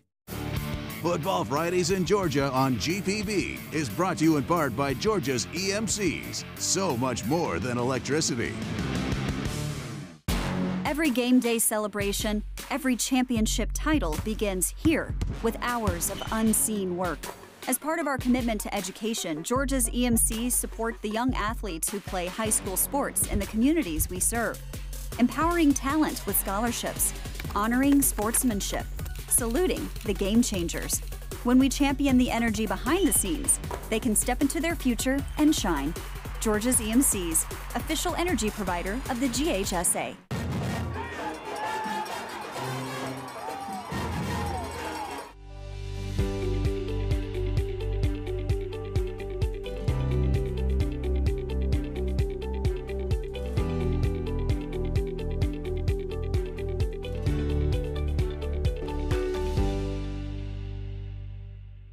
Kids have been through a lot over the past few years remote learning, missing activities, traumatic events, and it's affecting their mental health. These issues are more common than most people realize, so it's important that parents and teachers know the signs. Today, we are joined by Tara Jackson from Cigna Healthcare, who will share what to watch out for and how to help your teen. Tara, why is it so important to recognize and promote teen mental health? Teen mental health issues are on the rise, especially since the start of the pandemic. We're also seeing a huge increase in suicide, especially in young people. Um, statistics show here in Atlanta, 60% of teens uh, report stressor and suffering with um, school. A lot of them can even recognize um, uh, that they have mental health issues or even know how to seek help. What are some of those warning signs in teens that may indicate they're struggling with mental health? Some of the general warning signs is just being aware of your children's surroundings, understanding if they're having cognitive issues, if they're having sleep issues, anxiety, um, are they hanging around the same friend group, um, you know, and watch for concerning posts on social media if they're expressing um, uh, concerns of hurting themselves um, and things that they're posting on the internet. How can we support our teens' mental health during this tough time? It's essential to be open and honest with your teens, letting them know that you are a resource as their parent. You're here to listen and open to understand any anxieties or anything that they may be feeling. I don't have teens yet, but I will one day. So this is so important. I'm taking notes. Tara, thank you so much for being here. And if you would like to learn more, please go to Cigna.com.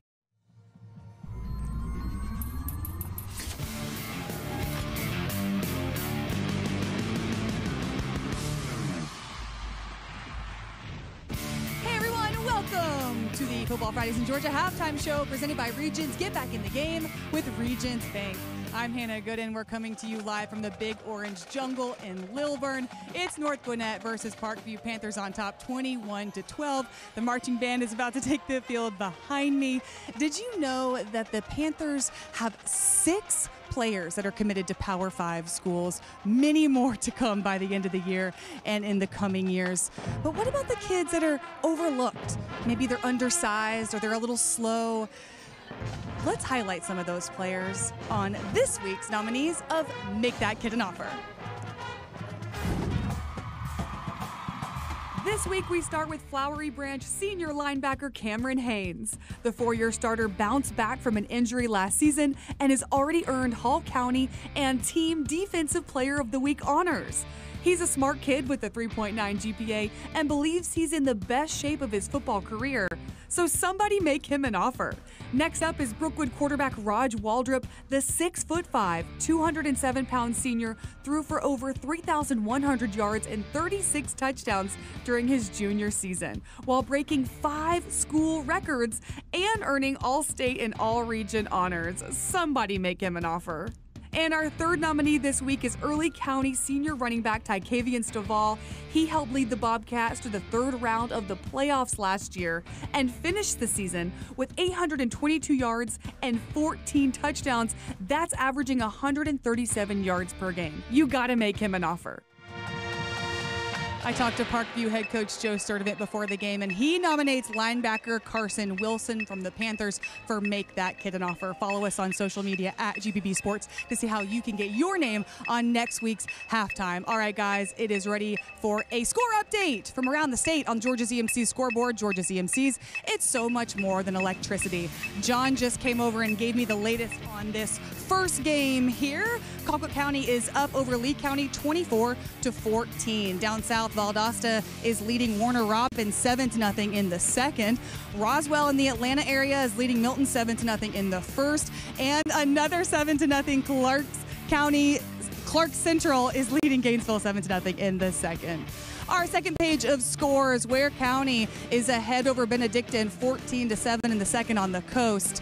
Then we have Northeast leading Carver Columbus 19 to 6 in the third. Back here in the Atlanta area, Marist up by just one point over Woodward 7 to 6 in the second. And our web game, East Coweta blanking Sandy in the second, 7 to nothing. That seems to be the theme, 7 to nothing right now in the first half of those games. Go watch our web game on gpb.org slash sports and the GPB Sports app. All right, we have to take a quick break, but coming up next is the U Save It Georgia Player Spotlight. You're not going to want to miss it.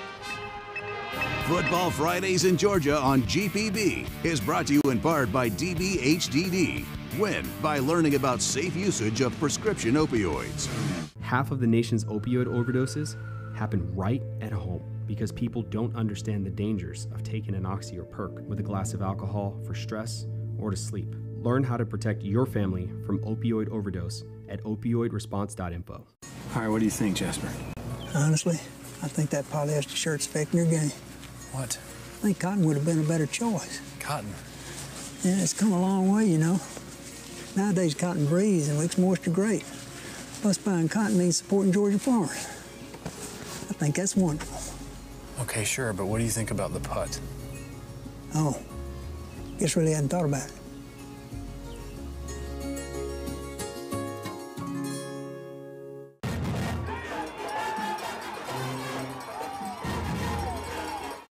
Buckle Up Georgia has been producing content for eight years, promoting seatbelt safety as well as other aspects of safe driving. You really just have to be cautious and you have to pay attention and you can't use your phone. From our distracted driving course Pledge Well, we collected a couple of cones. To our public outreach. Without a doubt. Everybody needs to watch it. Period, point blank in the discussion. All the way to our rollover crash. And every season, we top it off with our student video contest. We've shown you third, we've shown you second. Now it's time to show you the winner. Here you go. We will, we will buckle up. So stay tuned this football season for more driver's education as we remind you to buckle up, Georgia.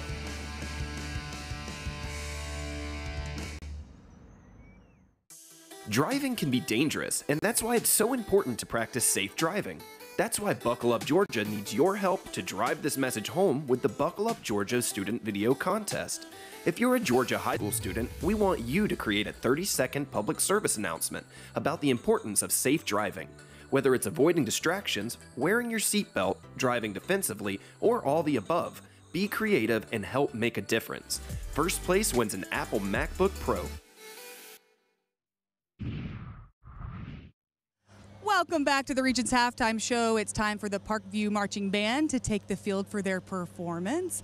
Panthers on top 21 to 12 here at the half. It's time for the U Save It Pharmacy Georgia Player Spotlight. And this week, it's Jaslyn Jackson. She is only 15 years old, already a, a, level 10 gymnast, and competed at the National USA Gymnastics Competition. You know how much blood, sweat, and tears goes into preparing for that. Here's her story.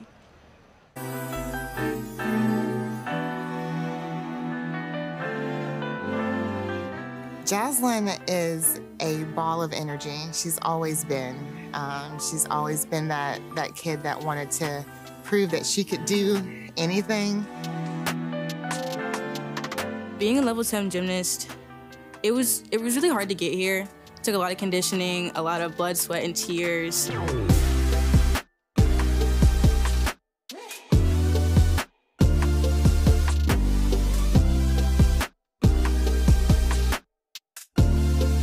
These girls spend 20 to 30 hours a week just practicing.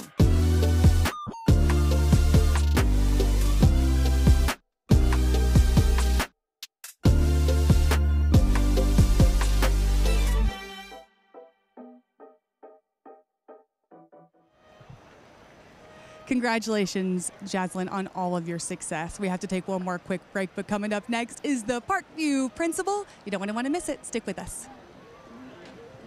While we've got a quick break in the action, did you know that the same area of just one football field can contain up to 95 termite colonies? That's why you need Breda Pest Management to defend your home. Breda, the official pest control of high school football. Half of the nation's opioid overdoses happen right at home because people don't understand the dangers of taking an oxy or perk with a glass of alcohol for stress or to sleep. Learn how to protect your family from opioid overdose at opioidresponse.info. At Regions Bank, we're here to listen to your needs, and we'll customize a plan to help you reach your financial goals. Our service to Georgia goes beyond banking to creating more inclusive prosperity in our communities. From education to financial wellness to economic development, we're working to level the playing field so more people can succeed and our communities can thrive.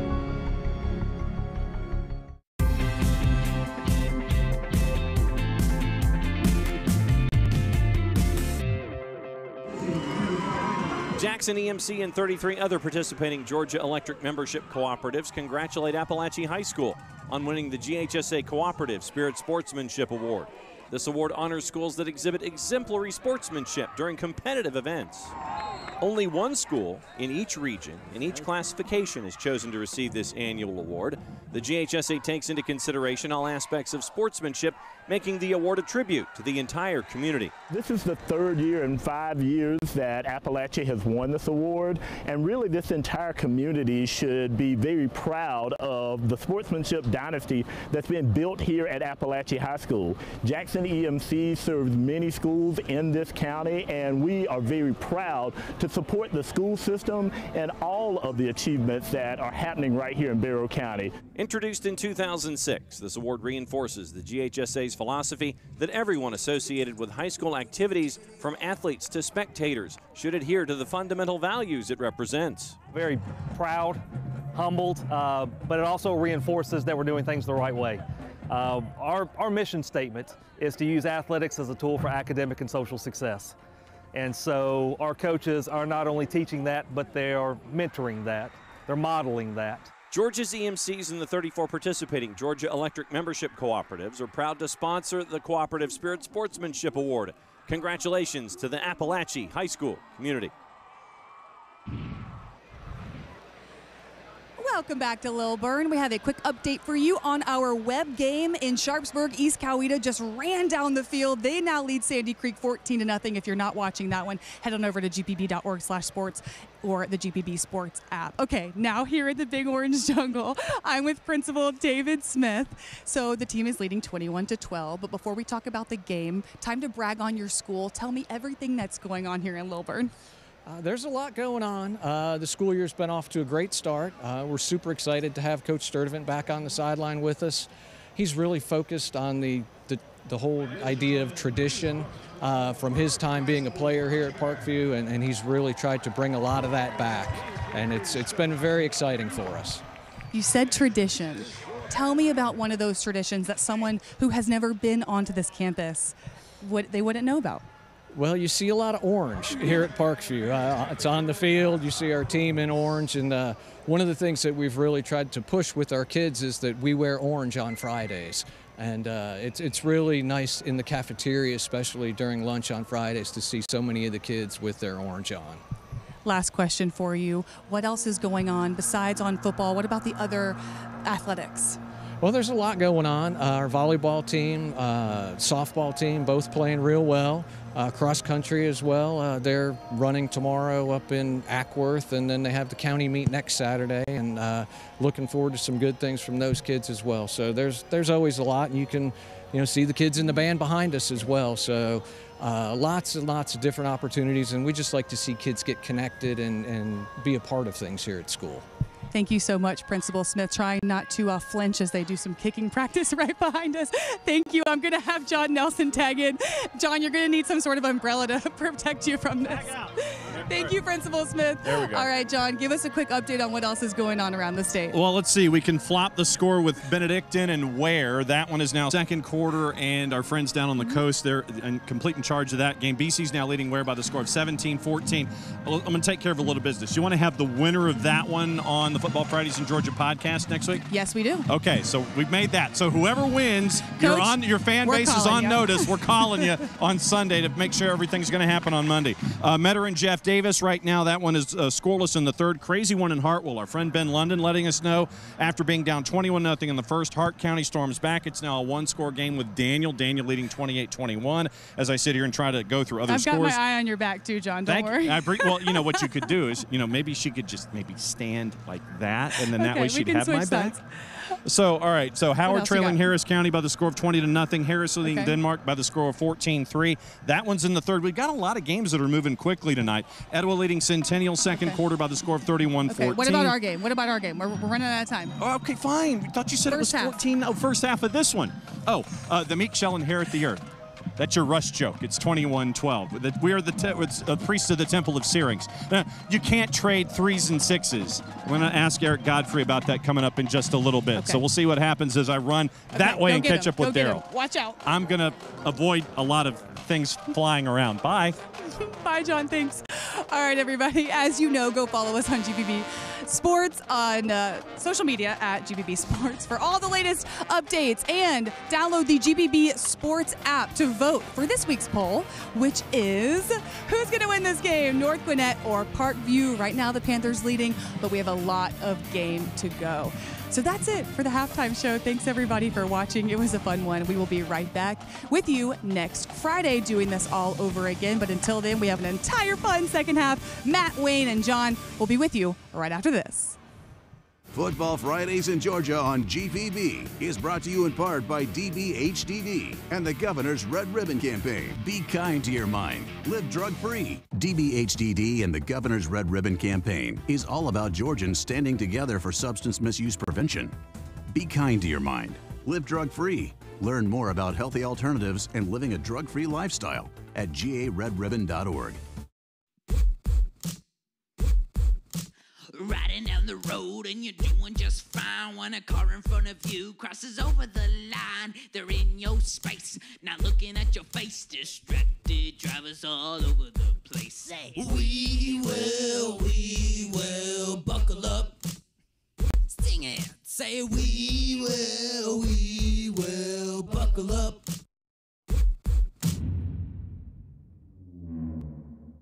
Let me know if I can help you with anything. Just looking. I only buy local and sustainable, so. Oh, well, that shirt's not local. You should be wearing cotton. Georgia's a major supplier of cotton worldwide, so if you'd like to buy local to support Georgia, buying cotton's a great place to start. It's renewable and sustainable, naturally. Thanks. And that's a polyester fiber made of oil. By the way, Where's your dressing room?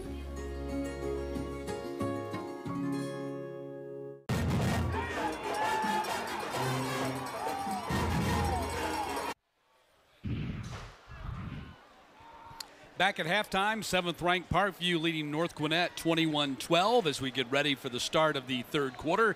Matt Stewart joined by Wayne Gandy. Parkview hitting some big plays in that first half, but North Gwinnett able to stay in the game with some methodical drives. A nice one at the end of the half to manage the clock and get three points. Both teams able to operate on their offensive side of the ball and do what they want to do. North with North Gwinnett, they wanted to run the ball. They accomplished that. Parkview with the big plays. Right now, it's about mistakes and penalties for who's going to take this game. Let's send it down to Nelly, standing by with Coach Godfrey. Thank you very much, Matt. Here with the coach, and I know that you were looking at that scoreboard saying, I know I can't have threes, I got to have sixes here in the second half. Yeah, when explosive offense like Parkview has, yeah, we've got to get in the end zone, absolutely. And you were taking the air out of the ball. You were in control with possession, making sure that that explosive offense that you know all too well wasn't getting possession, but once again, turnovers bit you. Right, no, you're right. Yeah, we're definitely not in any kind of hurry up mode, trying to eat as much clock as we can. And you're right, the yeah, the interception down there, the I mean tip pass, we got to we got to convert those and score. And definitely a lot of emotions. My calves are burning and running up and down. this is awesome. It's, it's awesome to be back in the jungle. I know it's weird. I know it's emotional. Good luck in the second half. Thank you. Send it back upstairs to Matt and Wayne to keep talking about the first half. All right, Nelly, let's take a look at those first half highlights. Opening 90 seconds of the game, Trelane Maddox. Big hole in the middle of the field showing the speed here is Maddox to set his team up first on the board with the big six. Then after a North Gwinnett field goal made it 7-3, Parkview back in business again. The pass from Jenkins to Mike Matthews. Finally got the one-on-one on the edge to Matthews. Couldn't get it in, but his big quarterback right here stumbling and fumbling into the end zone for the touchdown is Jenkins. Seven-yard touchdown run for him. It's 14 to three, and then the interception off the hands of Bookman. Trelane Maddox with the interception had a big first half rushing and playing defense. That turned into the 31, 36 yard touchdown run by number 31, Brian Stokes. Brian Stokes into the game for the big touchdown. And then North Gwinnett was able to sustain a drive. Ryan Hall able to find Hudson Morton right there down the middle of the field for the touchdown to give his team life. Nice soft hands by Hudson Morton, the tight end, 51 yard pass play, 21 12 the score. What jumps out at you as you take a look at the halftime stats? Really, it's a clean game. We thought North Gwinnett was going to come in and try to run the ball. They did. Parkview strong in the running game. Pretty clean with the penalties. Untimely penalties, but pretty clean. Right now, I think both teams are doing what they came in the game to do to try to win. And I think, you know, Eric Godfrey right there at the end of the halftime talking to Nelly hit the nail on the head. They at some point they've got to score touchdowns. They do have one and two field goals. They got to they got to score touchdowns and not field goals in the second half. When you're part of those kind of offenses that are trying to keep high-powered teams off the field, execution, you can't have those mental errors, and you have to finish drives with touchdowns, not field goals, and that's the thing they have to accomplish to pull this win out. North Gwinnett will get the ball to start the second half, so that's good news for them. We'll see if they can put together a a drive here, and uh, they're also dangerous in the kick game. They've out, you know, we talked about Parkview with the uh, touchdowns that they have scored in the kick game. Well, the Bulldogs have two return touchdowns this season. Ronning, who's unavailable tonight because he's out with the virus, and Bookman had a 90 yard kick return for them in their first three games. So both teams equally dangerous in the kick game. But Parkview, with their kicker, Trey Barker, has done a really good job of kicking the ball short to about the 20 yard line every time, and it's been effective. It's definitely been a chess match in the kickoff of both teams kind of strategizing, changing it up, making everyone be involved. North Gwinnett getting the ball here, they, they really have to keep pace. You feel like this is about the distance. Anything more than that, they won't be able to come back offensively tonight. So the big story tonight, Eric Godfrey returning to the Big Orange Jungle as a visiting coach for the first time in his career, the last nine seasons, the head coach at his alma mater, Parkview. He took the North Gwinnett job. Joe Sturdivant, former star player here with the Panthers, said he felt his entire life that this was the job that he would have, and now he has it here in 2023. There's Trey Barker, done a really good job of checking up those kicks. And the third quarter kickoff is brought to you by Buckle Up Georgia. Buckle Up Georgia, seatbelt save lives. And now they're going to kick it to the other side. And it's bouncing around and picked up inside the 30 yard line. And the return up across the 35 by R.J. Jordan. And that's where the Bulldogs are going to go on offense. Let's see where they spot that thing. They're going to spot it right there at the 40, so we got an even better return than I thought. So first and 10 for North Gwinnett from the 40 yard line. Ryan Hall brings out the offense. Pretty good first half for him. 8 of 11 passing for 109. Had a touchdown, also threw an interception, which wasn't his fault. And the receiver should have caught that. Also, nine carries, 44 yards rushing. And Julian Waters, the back, they're going to throw instead, and it's complete to Holcomb. Holcomb up to the 50 yard line. Nice job once again of Sanford Holcomb, the junior, finding that soft space in the defense and just settling in, making the catch, and making his numbers big for his quarterback. They're going to call it a close to 10 yard pickup, second down and short. Not quite there. Holcomb has two catches tonight. Julian Walter, Walters, 13 carries, 51 yards, and he's going to get his 14th carry right there and pick up the first down. Lunges forward to the 46 and a half yard line. One thing you like about Julian Walters is he's always got those legs churning, shoulders square. He's just in that position, he's always going to get those two or three yards without penetration. Just a nice hard run up the middle. So first and 10, ball is at the 47. North Gwinnett already has it on the plus side of the 50 here on their opening drive of the third quarter. Walters gets it again, and Walters running very physical. Maddox making the tackle, but that's about a three or four yard pickup for Walters. Nice step up here by Traylon Maddox, number two, stepping up in the hole from that safety position. Nice job driving the running back back for just a short gain right there. Good job of him. And we talked about a guy that DN, running back, safety right there coming from that safety position is Maddox. Nice, steady, workman-like effort for Julian Walters tonight. Not flashy, but getting the job done. Hall stands in the pocket. He's in trouble, and Singleton's got him. Nice job of the defense right there, just all over, staying in their rush lanes, working off the block. Our Singleton just nowhere to go on that short drop by Ryan Hall. As you can see, just a one-step drop, pressure in his face there by Abdul Muhammad, and then just working off the block at Singleton to get the sack. Singleton with a sack and two tackles for loss. A great looking 6'5", 222 senior, long, rangy Got him playing linebacker. See him got him playing up on the edge, a stand-up edge here. Committed to Miami of Ohio. Let's see if North Gwinnett gets this pocket moving for Ryan Hall to get away from this pressure. Timeout called by North Gwinnett.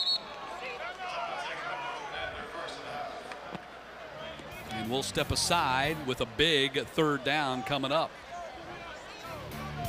Opening minutes of the third quarter at the Big Orange Jungle. Football Fridays in Georgia on GPB is brought to you in part by Georgia's EMCs. So much more than electricity. Today's conservation minded consumer cares about where their energy comes from. Your local EMC cares too. Georgia's electric membership cooperatives offer renewable options for our members. In fact, our solar portfolio will produce enough clean energy to power more than 180,000 households, striving to move the needle toward progress and position communities for the future. Georgia's EMCs, so much more than electricity. At Regions Bank, we're here to listen to your needs, and we'll customize a plan to help you reach your financial goals. Our service to Georgia goes beyond banking to creating more inclusive prosperity in our communities. From education to financial wellness to economic development, we're working to level the playing field so more people can succeed and our communities can thrive. Cigna Healthcare is a proud partner of Georgia Public Broadcasting and Football Fridays. Cigna Healthcare's mission is to improve the health and vitality of those we serve. Visit Cigna.com to learn how you can support your physical and emotional well being.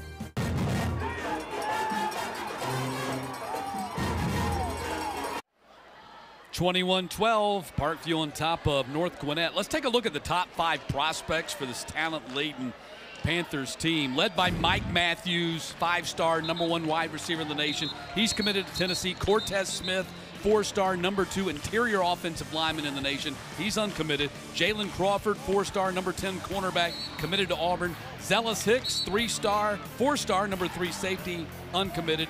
He's a sophomore. Jordan Floyd, committed to Georgia Tech. That's just the tip of, tip of the iceberg say, with we, this Parkview we team. need to do a top 10. They, they have so many bodies, so much talent on this team all around. So a big third down coming up here for North Gwinnett out of the timeout.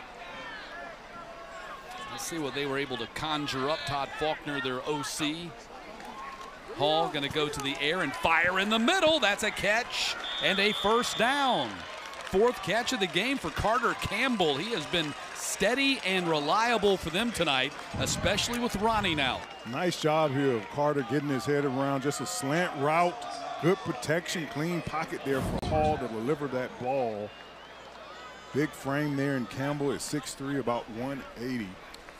That's a 12 yard pickup. He has more receiving yards tonight than he had in the first three games combined. And you talk about a methodical drive. This will be the sixth play of the drive. They've run five plays in nearly three minutes. So they're moving kind of slow, but that's by design. Walters crashes inside the 30 yard line and down to the 29. Once again, just running behind his pass. Julian Walter, Walters delivering the blow a lot of times when you see him run. He's pushing the pile. Not the biggest of backs, but he's strong and dependable. Second down and five. The line to gain is the 24.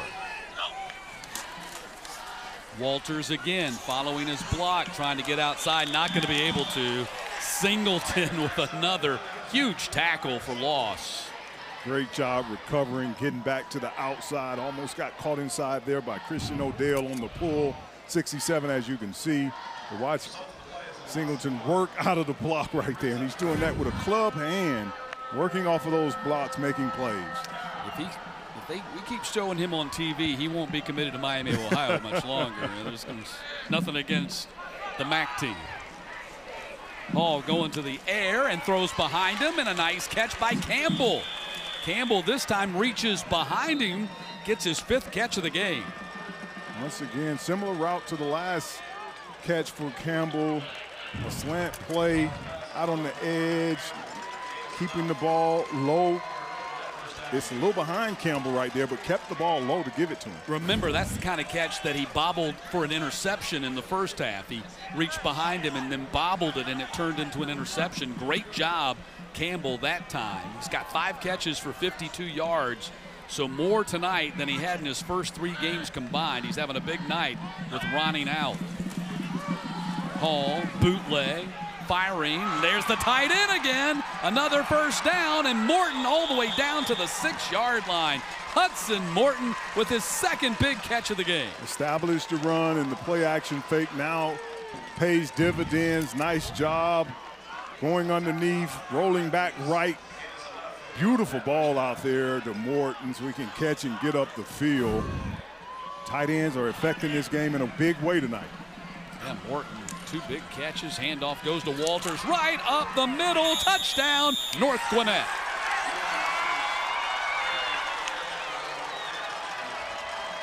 What a drive there by North Gwinnett. What a physical run to get into the end zone.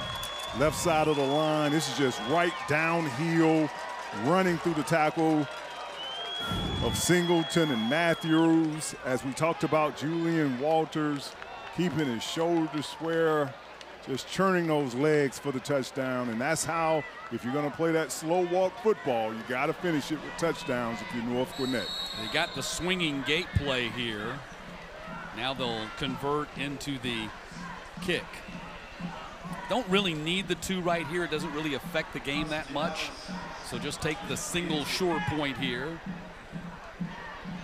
Dallas is on for the PAT, and he's going to squeeze it through. Well, that was a knuckleball line drive, but it counts for one. What a drive by North Gwinnett with Walters pounding it up the middle. And North Gwinnett back in the game, 21-19. Football Fridays in Georgia on GPB is brought to you in part by Regions Bank. Get back in the game with Regions Bank. At Regions Bank, we're here to listen to your needs, and we'll customize a plan to help you reach your financial goals. Our service to Georgia goes beyond banking to creating more inclusive prosperity in our communities. From education to financial wellness to economic development, we're working to level the playing field so more people can succeed and our communities can thrive. DBHDD and the Governor's Red Ribbon Campaign is all about Georgians standing together for substance misuse prevention. Be kind to your mind. Live drug free. Learn more about healthy alternatives and living a drug free lifestyle at garedribbon.org. I've been checking food labels for years. I like to buy local and I like to buy healthy for my family. So I started checking the labels on our clothes too. Did you know synthetic fibers like polyester are pretty much made of oil? No thanks. I look for cotton now, which grows right here in Georgia, a major source of the world's cotton. Cotton is natural, renewable, sustainable, and buying cotton supports Georgia farmers. Good enough for me and my family.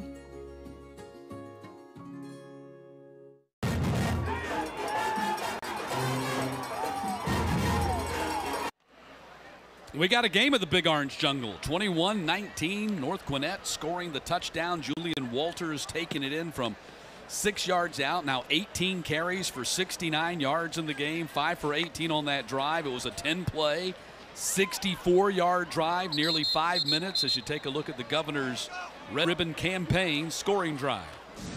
Here's a look at the North Gwinnett prospects. Jordan Chandler, three-star safety in the junior class. Cole Funderburk, another junior.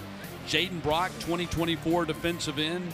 Braxton Kyle, a sophomore, make that a junior defensive tackle. And Jake Brumbelow, the other tight end. It's Morton that's been getting all the catches tonight.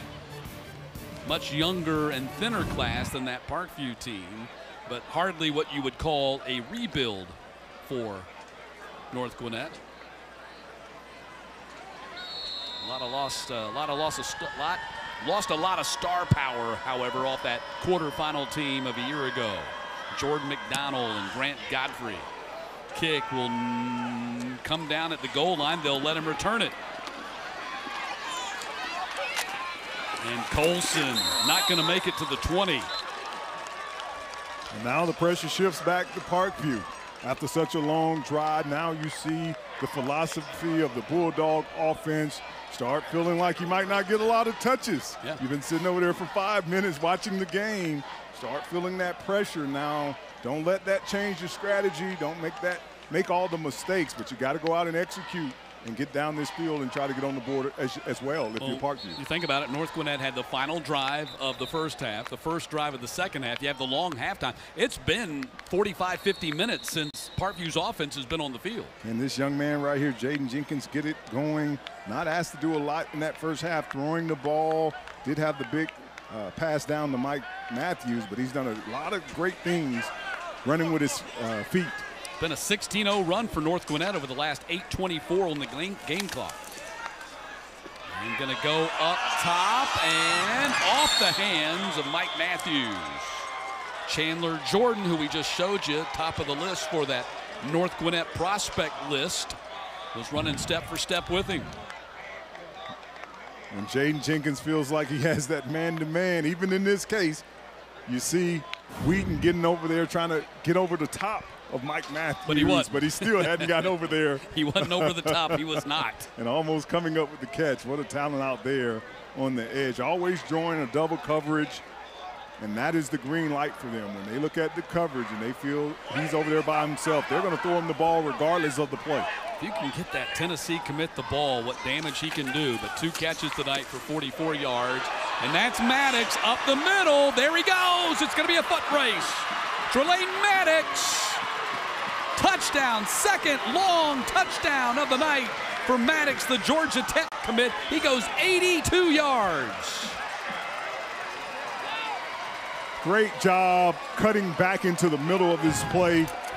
Gwinnett selling out to stop the run. Good trap, and we have seen this story here before. When this young man, there's nothing in the back end to stop him.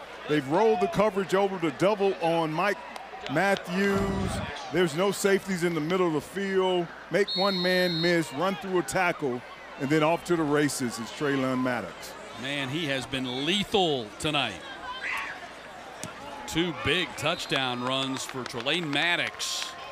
68 yards in the first half, 82 yards here in the second half.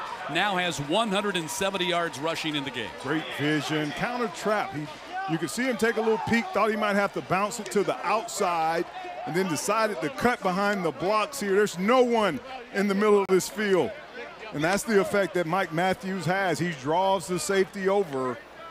And look at this man, young man here, 6'3", 210, three-star headed to Georgia Tech. And as you said, Matt, we, we, we don't have a, a definite position for him, but I'm quite sure after tonight's performance, running back might be what he's doing a couple of miles south of here. Well, I'm no Vince Lombardi, but he's a pretty good running back.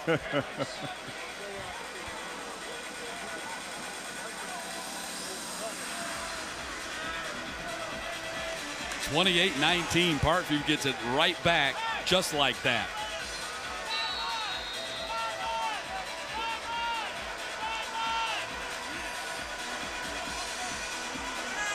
Sandstorm blaring over the loudspeakers as it comes down at the seven-yard line.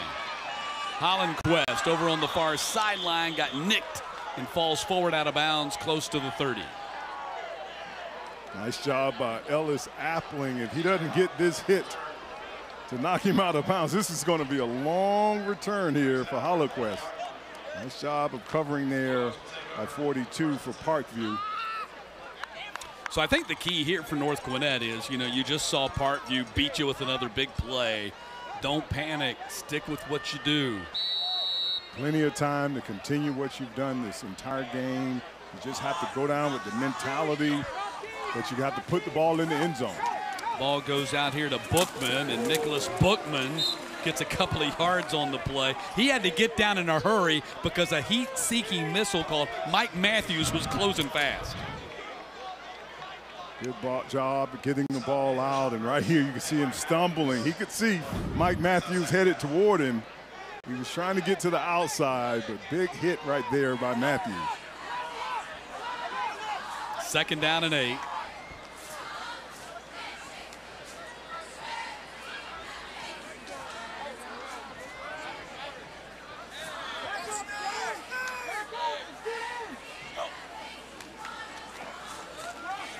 Hall going up top, looking for his man and caught. Great catch by Carter Campbell, who's having a spectacular game. Just a go route out on the edge. We talked about Campbell, about six-three. just a fade route, go route out on the edge. Beautiful job, 50-50 ball, just going up and beating the corner with his size. Ball skills, got his head around, good hands out on the edge by Campbell. He's got a younger brother, Christian, in the sophomore class who's going to be a good one too. Carter having a heck of a game. Walters gets the handoff, and Walters, nope. Nunn was there to blow up the play, and then he got help from his buddies.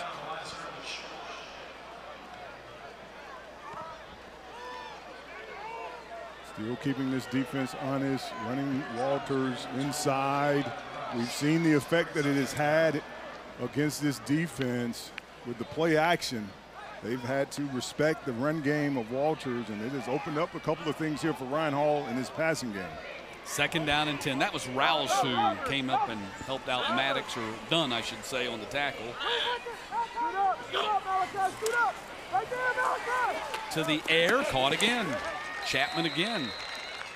Campbell, pardon me, Campbell again with the catch. Nice route by Campbell.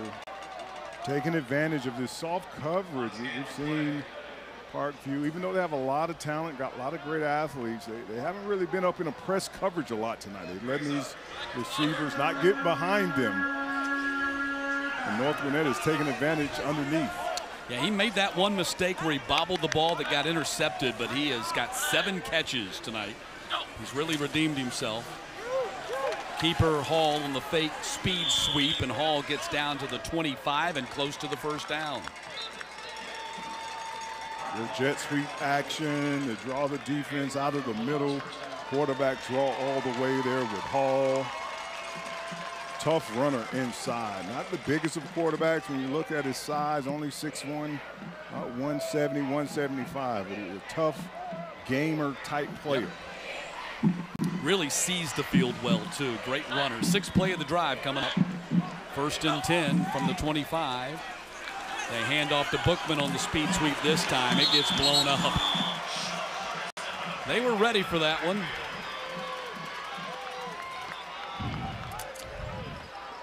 Nice job not letting this ball get to the outside, fighting to keep it inside there is Traylon Maddox once again coming out of that corner position to make that play is Sean Ferguson.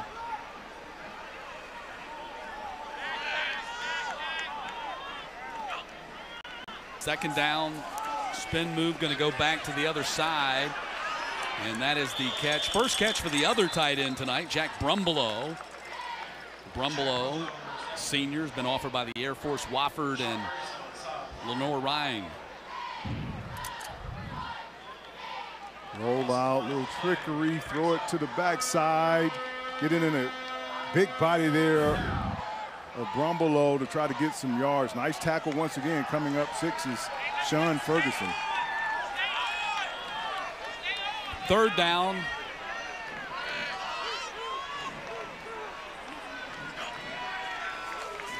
Hall goes to the air, complete. Flag out, might be coming back after another nice catch and run by Campbell. And a second flag comes out at the end of the play after a 14-yard pickup. Looks like they're going to get North Gwinnett, at least on the first flag there, maybe for Nicholas Book, number nine, holding.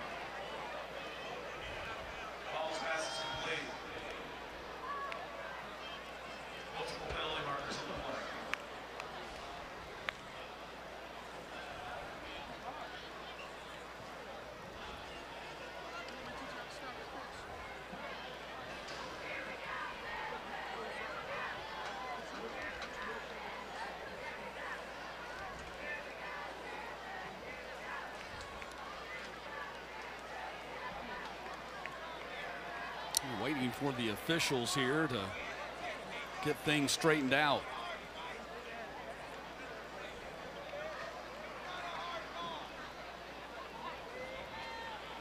two separate penalties on the play. And Cedric Cooper, I think, getting ready to tell us about it. We have a holding on the offense and a late hit on the, on the defense.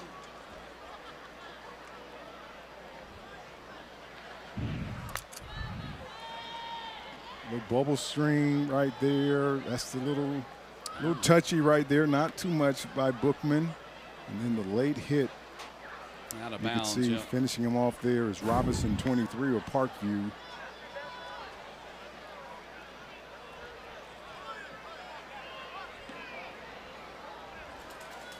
If the holding penalty was out there on the edge, that was that was very. You have two fouls on the play. Very close. Got a holding on offense. 10 yard penalty from the spot of the foul. Then we got a dead ball foul, personal foul on the defense. It's going to be a 15 yard penalty. Still third down. Still third down. So third North, down. So North Gwinnett gets five yards to the positive in that transaction. But I, if that was the hold out there on the edge, I thought that was a little nitpicky. Real, real touchy right there. Questionable at best. Bookman did get his hands off immediately. North Gwinnett now third and long, and you have to. I know they have a good kicker, but to keep pace with how explosive Parkview offensively can show you they can score is Coach Godfrey in a mindset of four down territory already in this game. Yeah, that will that will be you know that'll be an interesting if they don't get it here. Do they bring the field goal unit out to stay within a touchdown? You still got a quarter to go. I don't know that you got to push the panic button just yet.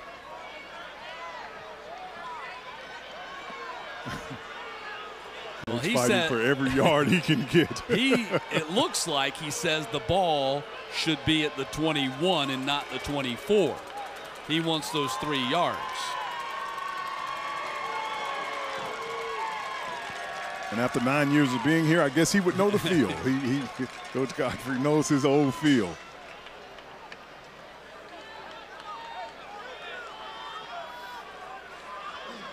You see there in the background, B.J. Luke. He's the Hall of Fame coach from Illinois. That is the tight end coach. He had a great career himself up north. His son R.J. Luke is also on the staff as the strength and conditioning coach.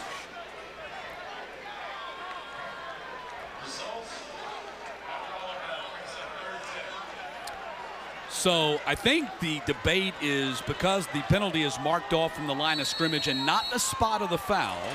And that's what the argument that was going on down on the field. Hall, heavy rush, in trouble. Quarterback sack. Singleton was the first guy to get him. And then Muhammad there to help finish it off and lost his helmet. Pushing the pocket with that big body is Abdul Muhammad inside. Big physical, strong tackle. Just pushing, just nowhere to go with this ball right here on that short drop. Ira Singleton, how many plays has he made tonight off that edge? A ton. It's just amazing. He's ripped through two people right there, beat the tight end, and then beat Julian Walters. Big time player there is, is Singleton. So this is going to be about a 49 yard kick, maybe 50. Yeah, they're going to set it down, so this will be a 50 yard kick from the left hash.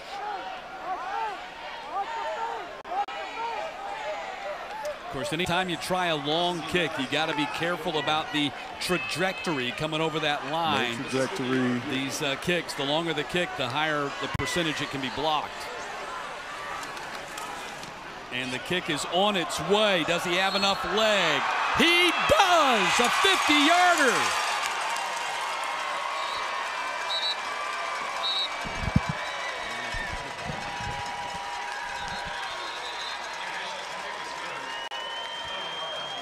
might have hurt himself kicking it 50 yards.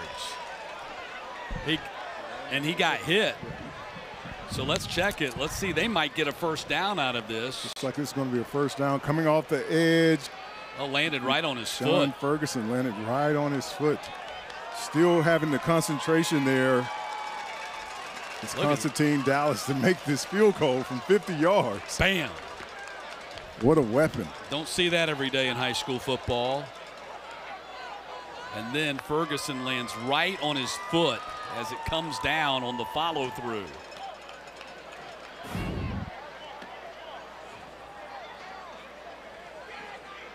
So the key is, is it going to be an automatic first down?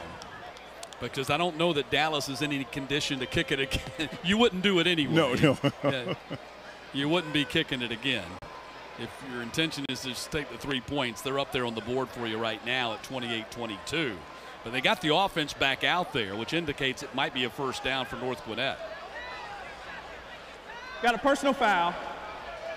Roughing the kicker on the defense. It's an automatic first down, 15-yard penalty.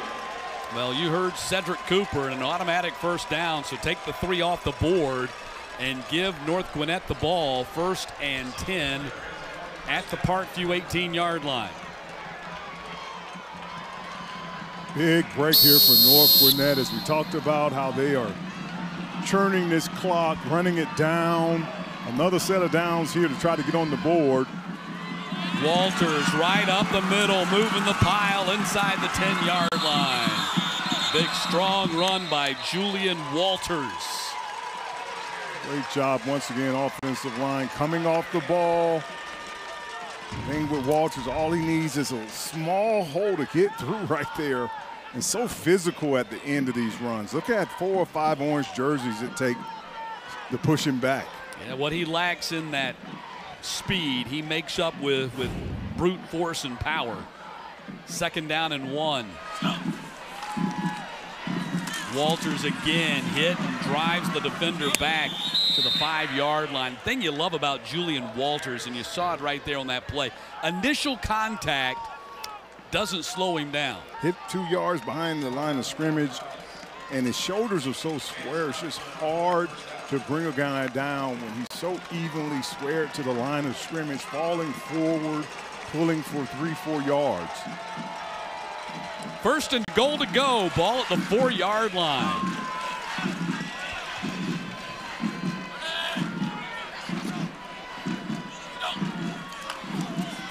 Handoff Walters again collides right through defender. Two defenders hit him in the backfield, and he just went right through them. No, no cut, just straight downhill.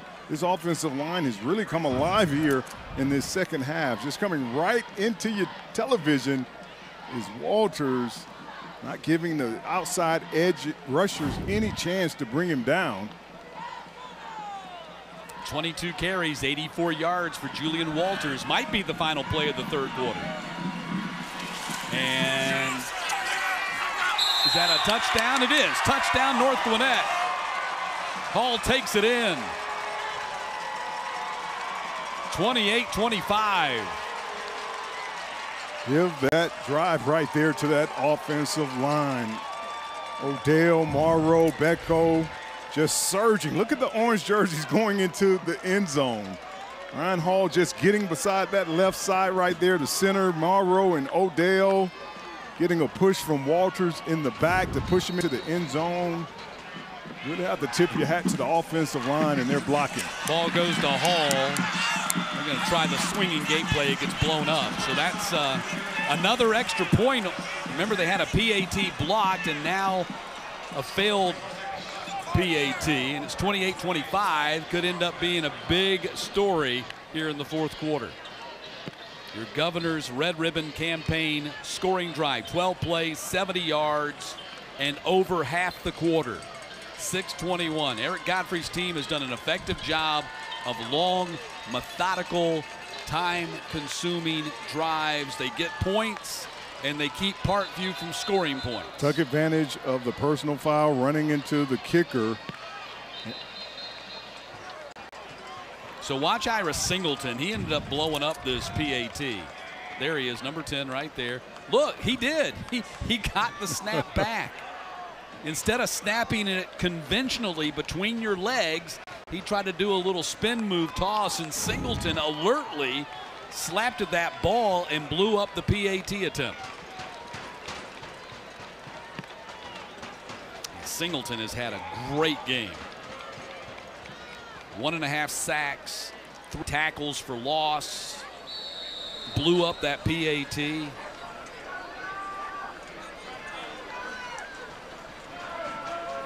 Let's see what they do here with 24 seconds left. They're going to kick it away and deep, and it will non be returned. Actually, good to see Constantine Dallas kick that ball into the end zone. Yeah. Shows that he he's back. We thought maybe he was hurt on that field goal attempt, but a big hit of the ball right there. And he might come up in a big way. This can this game continues in the way it is. No doubt. But now North Gwinnett, the Bulldogs on defense. Can you slow this offense down? Parkview has spent a lot of time. They're rested on defense uh, because their team has had the ball most of this quarter. Jenkins in there at quarterback, and he's going to run it. Pushes the pile, gets about three yards on the play. Godfrey, the linebacker, in on that stop.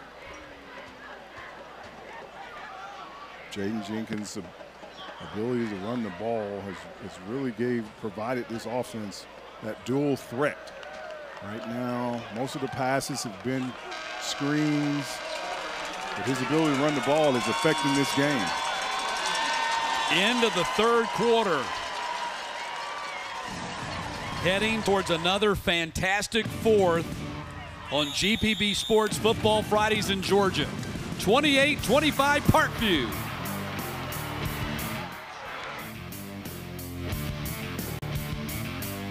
Half of the nation's opioid overdoses happen right at home because people don't understand the dangers of taking an oxy or perk with a glass of alcohol for stress or to sleep. Learn how to protect your family from opioid overdose at opioidresponse.info. Cigna Healthcare is a proud partner of Georgia Public Broadcasting and Football Fridays. Cigna Healthcare's mission is to improve the health and vitality of those we serve. Visit Cigna.com to learn how you can support your physical and emotional well being.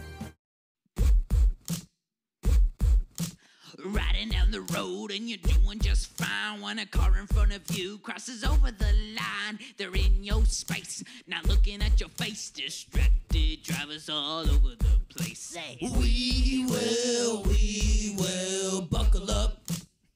Sing it. Say, we will, we will buckle up. Football Fridays in Georgia on GPB is brought to you in part by DBHDD. Win by learning about safe usage of prescription opioids.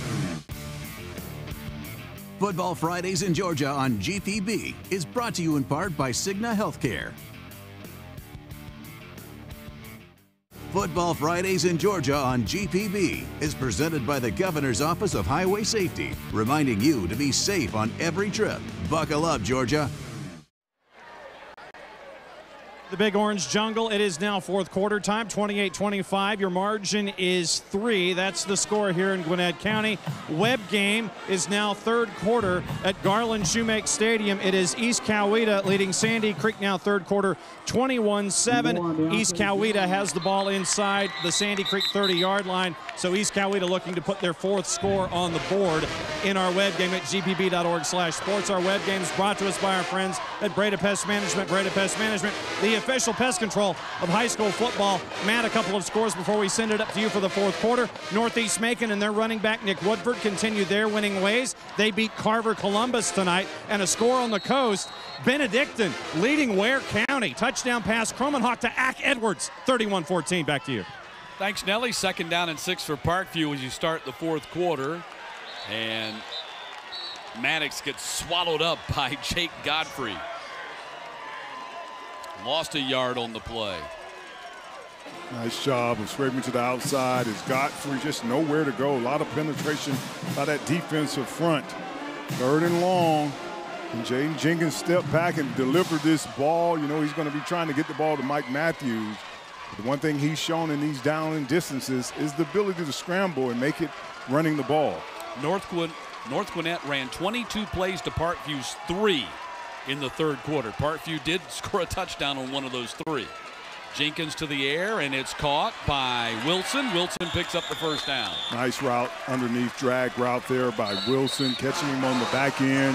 Jaden Jenkins to pick up that first down. I think we got a flag and might have a hold here on Parkview, which would erase the first down.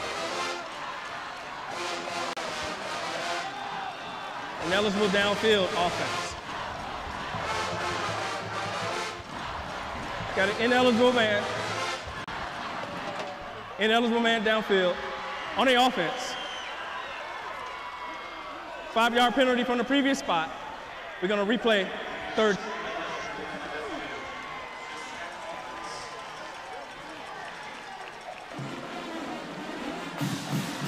So that's going to push the ball back to the 18 yard line. Joe Sturdivant wanting an explanation, hands on hip. So now third down and 12. This situation, look for Cole Funderburk. This is where he makes his money. Him and Jaden Brock are the sack masters of this defense, trying to get some pressure. Jenkins has a pocket, sidearms it out here to Maddox, and Maddox stopped at 25, will not pick up the first down. Good job of rallying to the football by the Bulldogs. See four or five white jerseys out there to bring Maddox down. Good coverage on the back end, nothing down the field, just dumps it off to his running back. Five jerseys, making sure he doesn't pick up that first down. So punting situation here for Parkview.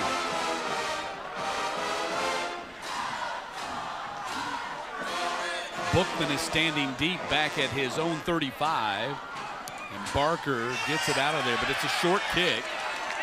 And it's going to go out of bounds. Let's see where they spot this thing.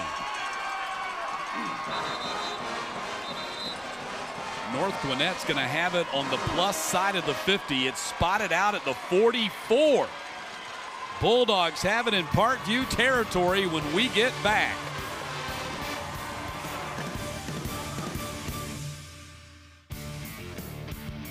Football Fridays in Georgia on GPB is brought to you in part by Cigna Healthcare. Cigna Healthcare is a proud partner of Georgia Public Broadcasting and Football Fridays. Cigna Healthcare's mission is to improve the health and vitality of those we serve. Visit Cigna.com to learn how you can support your physical and emotional well being. Every game day celebration, every championship title begins here with hours of unseen work. As part of our commitment to education, Georgia's EMCs support the young athletes who play high school sports in the communities we serve, empowering talent with scholarships, honoring sportsmanship, saluting the game changers. When we champion the energy behind the scenes, they can step into their future and shine. Georgia's EMCs, official energy provider of the GHSA. DBHDD and the Governor's Red Ribbon Campaign is all about Georgians standing together for substance misuse prevention. Be kind to your mind. Live drug free. Learn more about healthy alternatives and living a drug free lifestyle at garedribbon.org. Football Fridays in Georgia on GPB is brought to you in part by Georgia's EMCs. So much more than electricity. Football Fridays in Georgia on GPB is brought to you in part by DBHDD and the Governor's Red Ribbon Campaign. Be kind to your mind. Live drug free. Here we go. North Gwinnett's got the ball with 10-16 to go. They've got it at the Parkview 44 to start this drive. Matt Stewart, Wayne Gandy, John Nelson, Hannah Gooden, and our entire spectacular GPB team with you at the Big Orange Jungle. It's another great football Friday in Georgia. Walters trying to get outside, not going to be able to as Ferguson, the corner, comes up, finally upends him at the 45. They lost a yard on the play. And that's the team speed that this defense possesses right there. As you can see them rally to the ball, getting out of that tackle is Walters uh, of Matthews, but then Sean Ferguson finishing him up. One of the few times we've seen a, a tackle for a loss on Walters.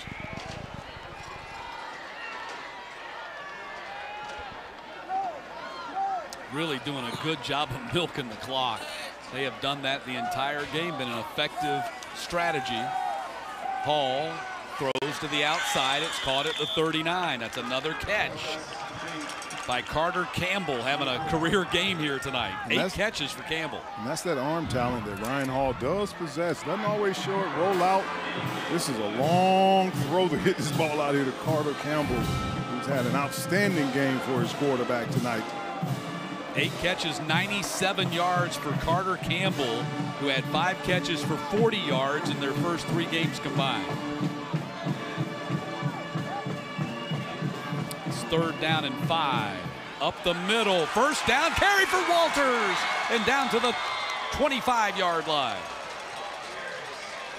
Going right at the middle of this defense.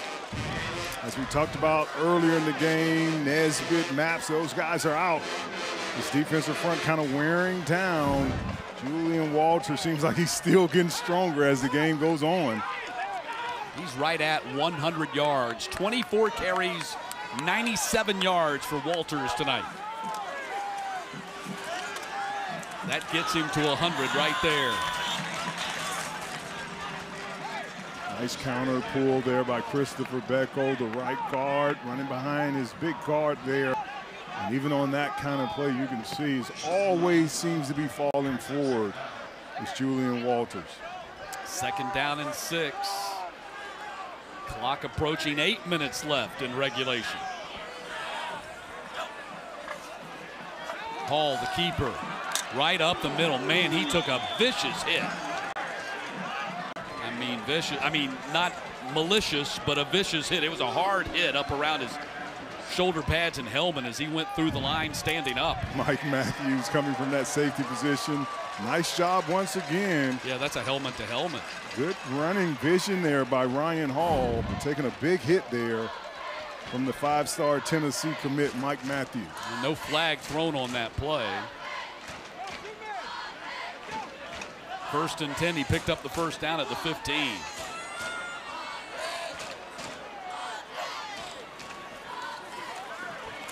New running back. First time we've seen somebody other than Walters in the game. That's Khalil Mazone, the linebacker. That's his, it might be his first carry of the season. He doesn't have many if it isn't. Ira Singleton from that backside end, running that play down, the effort He's had enough. He's seen his defense get pushed down the field with Julian Walters coming off the edge to make that tackle. Now Walters back in there. Hall going to follow Walters to the outside, and Hall inside the 10-yard line, out of bounds at the six. Good job of Hall following his blockers. Lead blocking here by Walters. Good block out there by Hudson Morton, the tight end as well, not holding, keeping his hands inside. Under seven minutes. It's third down and one from the six. Walters going to get the first down. He is so strong. They hit him behind the line of scrimmage, and he still carried the defender for the first down. Jalen Maddox just couldn't get his corral his arms around him to pull him down. Shoulder square. Watch how he hits the line. It's just you're hitting him from the side, not able to get into his wheel area to bring him down. He's just falling forward for two or three yards, picking up that first down. First and goal to go. Walters again lunges forward this time. The big defensive line was able to fall on top of him. believe that was Anthony Arrington, and it was. And this Bulldog offense is okay taking three plays to get in the end zone. It's what they want to do. I mean, they want to burn the clock. 10th play of the drive coming up. You really feel, you definitely feel like they're going to go forward in this situation to put pressure on them, and they're going to milk this clock as much as they can.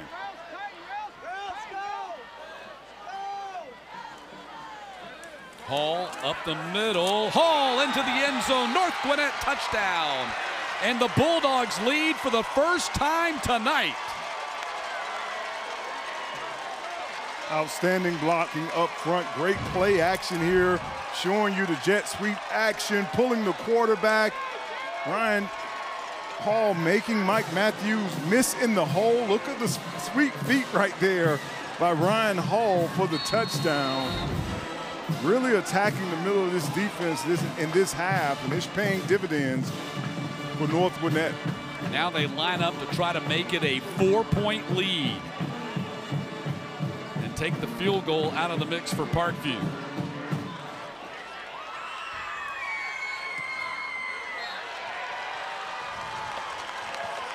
Ryan Hall. Gutsy effort by that young man tonight. He and the combination of Julian Walters have been hard to stop three yard touchdown run. Bulldogs on top with less than six to go. Football Fridays in Georgia on GPB is brought to you in part by DBHDD. Win by learning about safe usage of prescription opioids. Half of the nation's opioid overdoses happen right at home because people don't understand the dangers of taking an oxy or perk with a glass of alcohol for stress or to sleep. Learn how to protect your family from opioid overdose at opioidresponse.info. As Morning Light signals the start of business, Georgia's electric membership cooperatives are right there with you. Georgia's EMCs are a partner in economic development, serving commercial accounts big and small that drive Georgia's economy. From leading industries we rely on to local shops we treasure, we support operations on the ground, care around the clock, and growth through the seasons, lighting up good business. So business is good. Georgia's EMCs, so much more than electricity. While we've got a quick break in the action, did you know that the same area of just one football field can contain up to 95 termite colonies? That's why you need Breda Pest Management to defend your home. Breda, the official pest control of high school football. Football Fridays in Georgia on GPB is brought to you in part by Georgia's EMCs. So much more than electricity. Football Fridays in Georgia on GPB is brought to you in part by Regions Bank. Get back in the game with Regions Bank. 5.35 left. North Gwinnett leading now for the first time all night, looking to upset seventh ranked Parkview 32 28. Eric Godfrey's return to the Big Orange Jungle. He has put together, he and Todd Faulkner, a great offensive game plan to milk the clock all night. Another long 10 play drive and nearly five minutes off the clock. Perfect execution by this offense in this second half. Long drives, but finishing those long drives with touchdowns. And right now, the offensive line and the run game of North Gwinnett has Parkview on its heels. Can this explosive offense wake up here now with 5.35 left? North Gwinnett has run 32 plays in the second half, and Parkview only six plays from the line of scrimmage in this half. They've erased a 21-12 halftime deficit and now lead 32-28. Now, can the North Gwinnett defense stop this Parkview explosive offense? They won't get a chance to return this. And Parkview's going to start at the 20. So that's the other, that's the flip side to the story. Yes, North Gwinnett has been very methodical. They've executed their game plan. Parkview has been explosive. Very few reps in this second half, not really in a groove. We don't really know how they've been in the game. They've had very little opportunities, only two times with the ball. Jaden Jenkins and this offense just got to be patient and, and if anything, go on your own long drive and close the game out if you can. So Maddox, who's approaching 200 yards rushing on the night, stays in there at running back. Jenkins goes up top, and Colson cannot run underneath it. Chauncey Davis was running coverage, but Colson was open.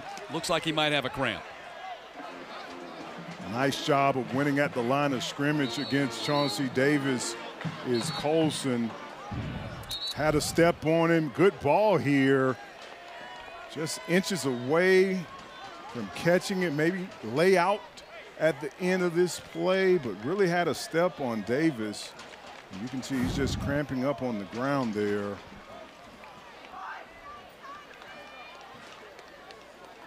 Colson, the wide receiver, six foot 185 senior, has five offers, including BYU. Working out the cramp for him right there. Coach Joe Sturdivant going up against his former coach. Sturdivant was a player on the 2020 2001 2002 state championship teams. They went 45 and 0. They they never lost a game from his sixth grade on in the Parkview program. And there is the legend, Cecil Flowe. All-time winningest coach in Gwinnett County history, 197 victories, won four state championships in his 20 seasons. And there is Coach Flowe and Coach Sturdivant. Sturdivant with the championship trophy back in the day. That? That's a beautiful picture there. Coach and player celebrating. Second down and 10. Maddox not going anywhere. Godfrey making the tackle. Sturdivant had told us in our conversation with him this week, he's told his running backs, you're not going to play again if you get tackled by the freshman linebacker. Well, Godfrey's had his share of tackles tonight. Nice job sifting through and bringing down that big body of Maddox by Jake Godfrey. Under five minutes to go, and it's the third and eight facing Parkview here.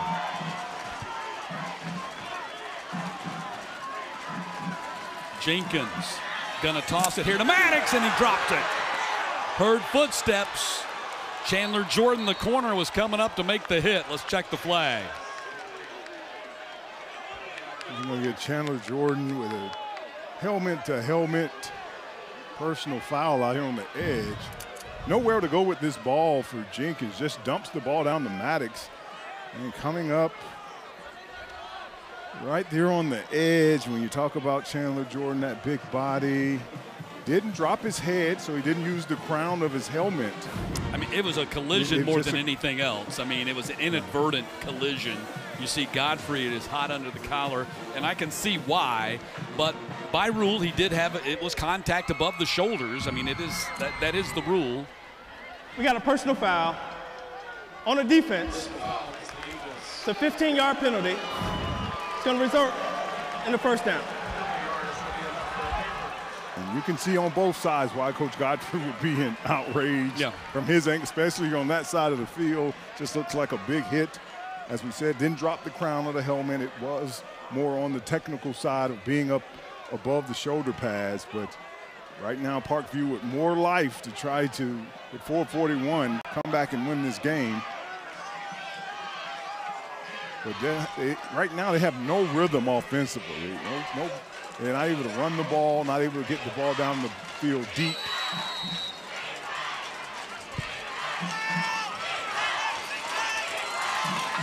Toss goes to Maddox. Maddox gets away from Funderburk.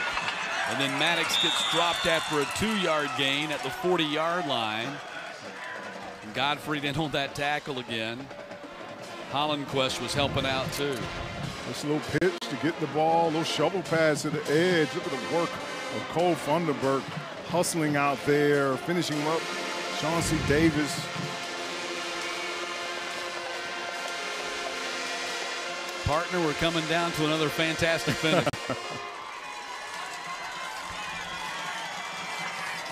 Second down.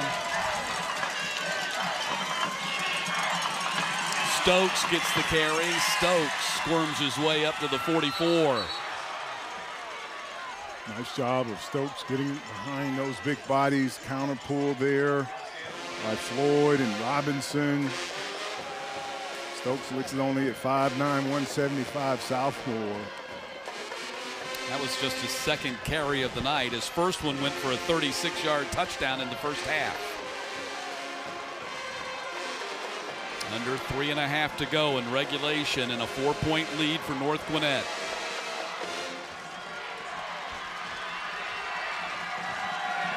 Jenkins drops it off. Stokes can't hold on to it. Kind of got twisted up, trying to get his feet going straight and catching the ball at the same time. Just couldn't coordinate it. Now it's fourth down. I think you got to go for it here. Just didn't get his head around fast enough. Actually had enough time to wait there as Jenkins gives Stokes just another step to get around. Tried to deliver the ball, but right here they're going to roll the dice and go for it here on the fourth and two, or at least line up on their side of the field and try to get this big first down. They do have two timeouts remaining. I think the fear is giving the ball back to North Gwinnett and never getting it back again. Toss goes to Maddox. Maddox gets through the defense and more. Trelane Maddox, another huge run, still going inside the 20 and down to the 15 where Godfrey finally gets him on the ground. A 200 plus rushing game tonight for Trelane Maddox. Just a student body left play here. Shovel pass, all the orange jerseys, and then it just become the Trelane Maddox show here. Breaking tackles, spinning, stiff arming, doing a great job of ball security. There's a lot of bodies slapping at that ball right there. What a big time performance tonight. We're talking about 200 yards rushing, our interception. He's made some plays on the special teams. 12 carries, 207 yards running tonight for Trelane Maddox. First game he's really had a chance to just unbuckle and be the lead back. Stokes. Actually, that was Rouse that time. That 21 and that 31 throwing me off. That was 21. Rouse on the carry. Big time tackle there by Jaden Brock. I know you saw Jake Godfrey in there as well, but number 21 comes in and he's head hunting right there on Rouse, trying to bring him down. Coach's sons had a couple of tackles for loss tonight. At least six tackles unofficially on the night. Not bad for a freshman Mike linebacker playing 7A football.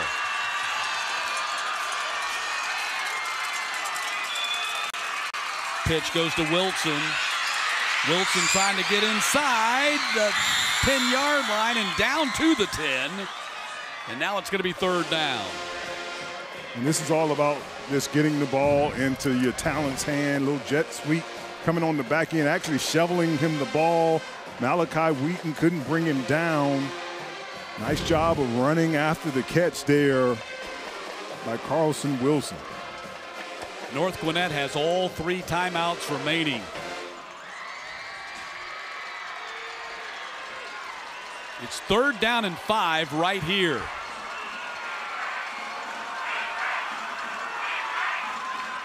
Handoff Maddox runs to the pylon. Touchdown. Trelane Maddox. 10 yard touchdown run. His third touchdown run of the night. And it gives Parkview the lead again at 34 32. And rightfully so on this drive here. The Trelane Maddox power kick out there by the pick. Aaron Robinson, and no one is out there on the outside when he bounces it out there. Poetic justice right there for Maddox to be able to score after such a great run to get him in that position. Big PAT right here. It's up and good, and we have a three point game with 70 seconds left on the clock. Well, just hold on a second. False start. Offense. Five yard penalty. Replay, on time down. So we're going to do it again. It's defense.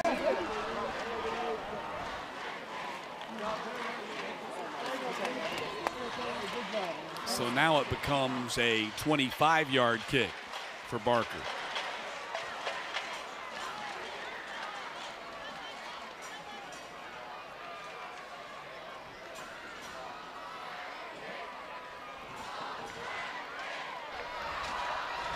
Correction, we had offsides on the defense.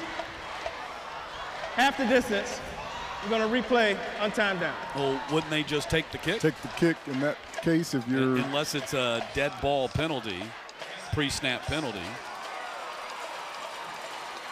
And I think that's what Coach and Joe Sturdivant, said, hey, is we, telling him, hey, I'll just take the points. We already got the point. We don't want to do it again. He, he doesn't want to. Joe Sturdivant is standing at the 17 yard line. He said, Why are we kicking again?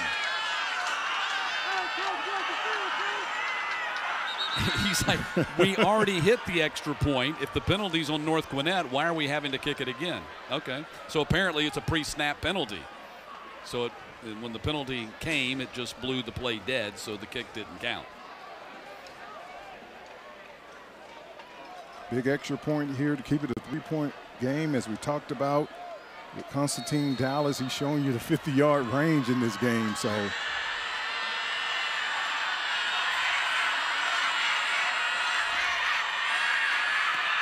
Three point lead. 35 32.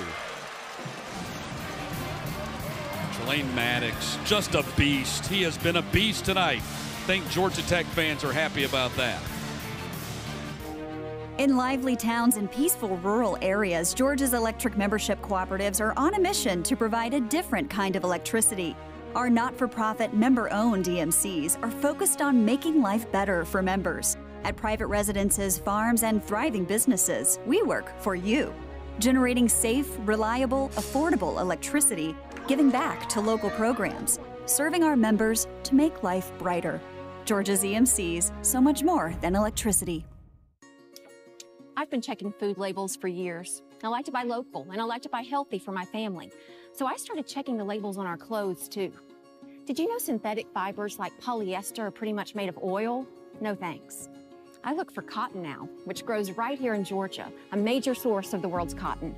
Cotton is natural, renewable, sustainable, and buying cotton supports Georgia farmers. Good enough for me and my family.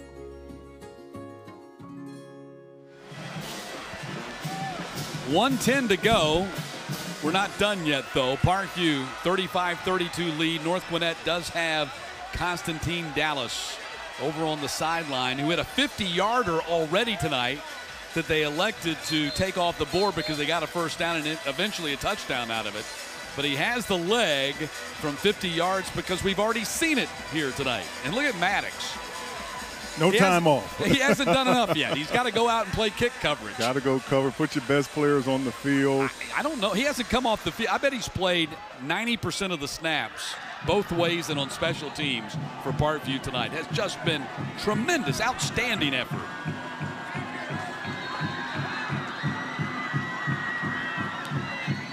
And the kick is going to go out of bounds. Well, no, it hugs the sideline, then finally does go out of bounds. So they'll bring it out to the 35 yard line. It's a bad break there on the kickoff team right there. Kind of directional kicking in Almost that worked. instant and almost worked, but it, it went out of bounds and now good field position to start this drive off. And, and this North Gwinnett team is going to be in a Legal situation. procedure. On the kicking team, the ball is spotted at the 35 yard line.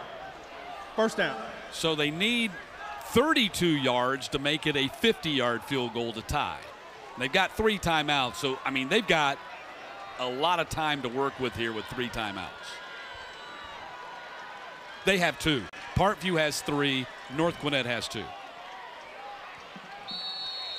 So they have two timeouts. Still plenty of time for them to work here.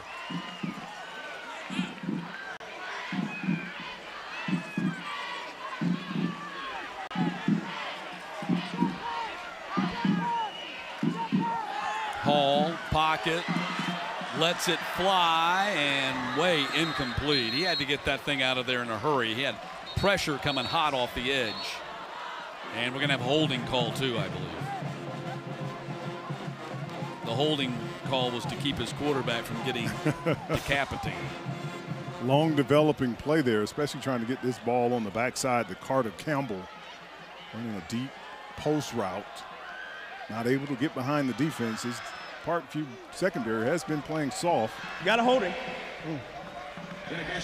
Offense. 10 yard penalty from the previous spot. Still first down.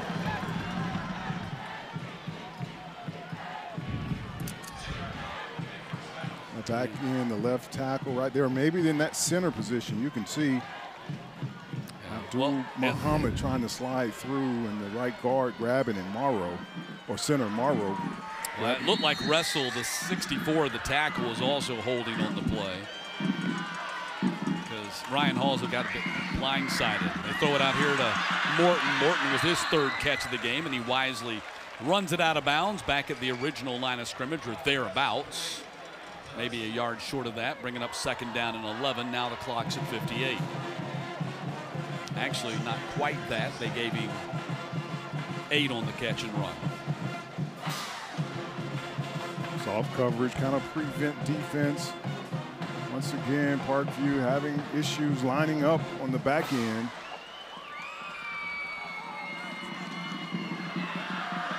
Hall up the middle.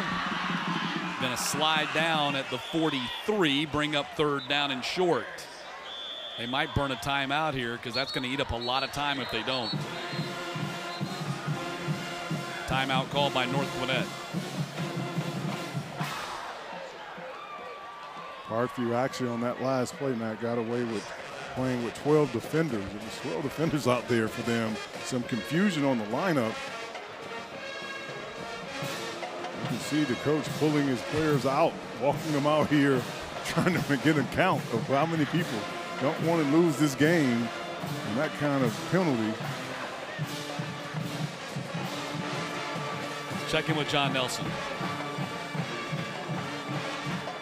Quick before we go, one last look right now 24 14. Interesting matchup with a 7A and a AAA, AAA team with a lot of graduations there. Once again, you can watch that at gpb.org slash sports. East Coweta and Sandy Creek. The web game, as always, this season brought to us by our friends at Breda Pest Management. Breda Pest Management, the official pest control of high school football. We got 48 seconds. We got a pretty good game, guys. What do you think? Got a pretty good game, no doubt about it. Sandy Creek, just to follow up on what you said, I mean, they lost virtually everybody from the team that won the 3A state championship last year, including the coach. The coach retired and got a new coach from Central Carrollton. They've been off to a good start this year, but having a tough go against the big 7A school down there tonight, trailing by 10. 48 seconds on our clock, third down and one. Julian Walters will get the first down. That'll stop the clock momentarily for them to move the sticks.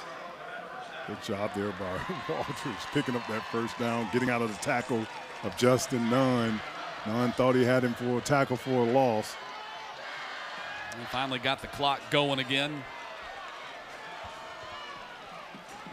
Hall to the air, and it's caught underneath. Bookman picks up about nine on the play. They're going to have to hustle, though. Clock's going to keep moving. They might have to use their last timeout, and they do. So that's tough right there because now you have no timeouts, and you're going to have to get the field goal unit on the field. Now, they did it well in the first half. They executed this exact same scenario in the first half and got three points out of it. Good job there working the underneath route. Ryan Hall has, has, done a great job of that all night long with guys like Halcomb and Morton. These guys are selling in, and we talked about good to see Constantine Dallas kicking the ball off because this is one of those games that's shaping up that was going to give him an opportunity to help his team out. And he, he's already shown he has the distance to get it get it in the field goal range. I don't even know it. how kickers do it, Wayne. I mean, I'm I'm sitting here looking at him, and I'm I'm, I'm getting my skin's starting to crawl. I'm my, my palms are sweaty. I, I, don't know how kickers do that. They stand over there just knowing, you know, it's gonna it could come down to me.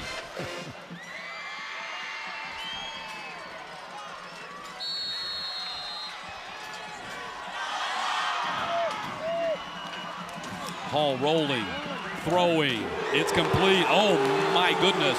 Huge hit out there on the edge. Clock is still running. They're going to have to get up there and move or spike it. They're going to have to spike it right here. And they do. That was complete to Halcomb, but he couldn't get out of bounds in time as he got laid out. And now just 13 seconds. Nice job there by Colson. He came off the his primary route. He saw where the ball was going, big tackle. And now North Gwinnett, you have to have a flawless execution of this play. You got to get a chunk yard, but you got to get to the ball, kill the clock here with 13 seconds. You got to make the completion. Yeah. But everybody has to rush to the ball as well. It's third down and 10. Line to gain is the 33. Remember, they have no timeouts remaining. Hall throwing to the edge, and it is caught, but ruled incomplete. Great effort by Campbell, and now they're down to fourth down. And this would be right here. This is a 60-yard field goal attempt if they tried it. My goodness, great effort. He couldn't come up with it. He was trying to keep his feet down and catch it at the same time. Just couldn't do it. Looks like they're going to leave this in the Ryan Hall. So they're going to try to maybe throw a Hail Mary. So what's more likely, a, a Hail Mary for a touchdown or a 60-yard field goal? you don't like your odds with either one, do you? Parkview goes with the prevent defense with seven seconds to go. Hall going to wind up and try to throw it as far as he can and throws downfield. He was hit as he throws, and Parkview has defeated North Gwinnett 35 32. There's that man, Ira Singleton, coming from the backside. Just not going to let Ryan Hall set up to get this ball off down the field. What a gutty effort here by North Gwinnett. Really had this game in control. Ryan Hall, Traylon Maddox on the other side for Parkview. And hugs for Joe Sturdivant and Eric Godfrey. We were expecting kind of rivalry, revenge game. And this game did not disappoint. Both teams fully engaged. Parkview here missing a couple of starters, impactful starters as well. But North Gwinnett came in game ready, executed well on both sides of the ball. Really came down to the explosiveness of Parkview's offense the methodical game plan on offense for North Gwinnett. Parkview, Trelane Maddox was just too much for him tonight. He went for over 200 yards rushing, scored three touchdowns. And let's send it down to John Nelson. He is standing by with our Georgia Cotton Commission player of the game. And he had a bit of a night on both sides of the ball. Here's Trelane, north of 200 yards on the ground with a pick. Brought to us by our friends at the Georgia Cotton Commission. Georgia Cotton Commission, the natural choice for Georgia. Our natural choice for player of the game was number two. What was it like out there going up against your old coach? Um, uh, it was a great battle uh, all the way up to the end. Um, we came in with a great pl- game plan, had a couple players out, and uh, the people who came up and stepped up, they executed, and you know we got it done towards the end rivalry game. This one was back and forth. What were the conversations like in the fourth quarter after North Gwinnett got the lead and you guys had to respond? Um, it was just give me the ball. You know, um, I was making plays all night, so when they put the ball in my hand, made another play, and they won us the game ultimately. What's it like being out there knowing that you're going to be playing both sides of the ball, offense, defense? You don't sound too gassed. No, I'm, I'm fine. Um, you know, our coach helped us condition and train all summer. Um, I've been working ever since spring and, you know, just working in and out. Got me conditioned real good. No doubt about it. North of 200 yards, Trelane Maddox is our Georgia Cotton Commission player of the game. The Georgia Cotton Commission natural choice for Georgia will be tracking down Coach Sturdivant in short order. Matt, back upstairs to you and Wayne.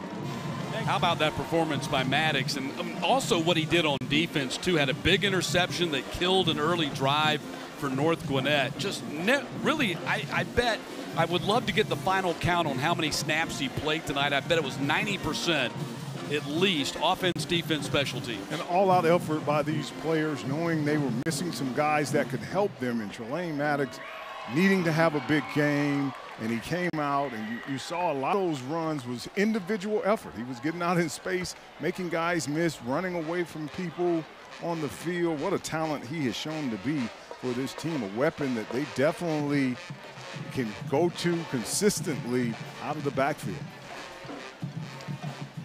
So Parkview now 3 and 0 on the season. North Gwinnett falls to 2 and 2. And certainly North Gwinnett was looking to get a win here in Eric Godfrey's return to the Big Orange Jungle. Uh, but nothing to hang their hats about or heads tonight about this performance. They put up a great fight against a very, very good Parkview team that could be good enough to win a state championship. And they showed a lot of mental toughness, regardless of how the game was going. They had a game plan, especially on the offensive side, and they executed it as good as you can. It was one of those take the air out of the ball. We're going to take you on long drives. Second half, they started turning those field goals into touchdowns. And it is well executed as you could have wanted if you coach Godfrey by his team to give him a chance, as we saw here on that last play. Parkview's got St. Pius coming up next Friday night. They'll host him here at the Big Orange Jungle. North Gwinnett, their next game is their region opener at Duluth. And that'll be two weeks from now. Two, two weeks from now. Let's send it back down to Nelly. Thank you very much, Matt. Here with Coach Sturdivant. Four Parkview alums on this staff going up against another five who've had pieces of the Parkview program. This one meant a lot. Yeah, absolutely. So, well, of course, we knew they were going to be well coached. We knew they were going to have a great game plan. Exposed a couple areas that we, we knew was going to come, right? And we had to make some adjustments, Matt, but our offense five minute drive. We talk about it, we preach it, we have to eat the clock. I'm on there, hey, keep churning it, keep churning it. And, you know, the little things that matter. Carson Wilson cuts underneath that on that pitch. We were dead to rights, cuts underneath it, gets back to the sideline, huge, allows Traylon to run in. What a great game by uh, Traylon Maddox also. Offense line, fantastic. And, uh, man, what, what, a great win. But it's, it's also, it's a good one when you, when you beat somebody. Things. You mentioned the little things that can contribute to a big win. It's an undercut here, it's a block here, it's between guard and tackle, hitting outside. All of those little things added up tonight. Yeah, absolutely. I mean, it's in the little thing on the, the block field goal, right? We want to take three steps and leap in front of the kick, so we don't want to run into them, right?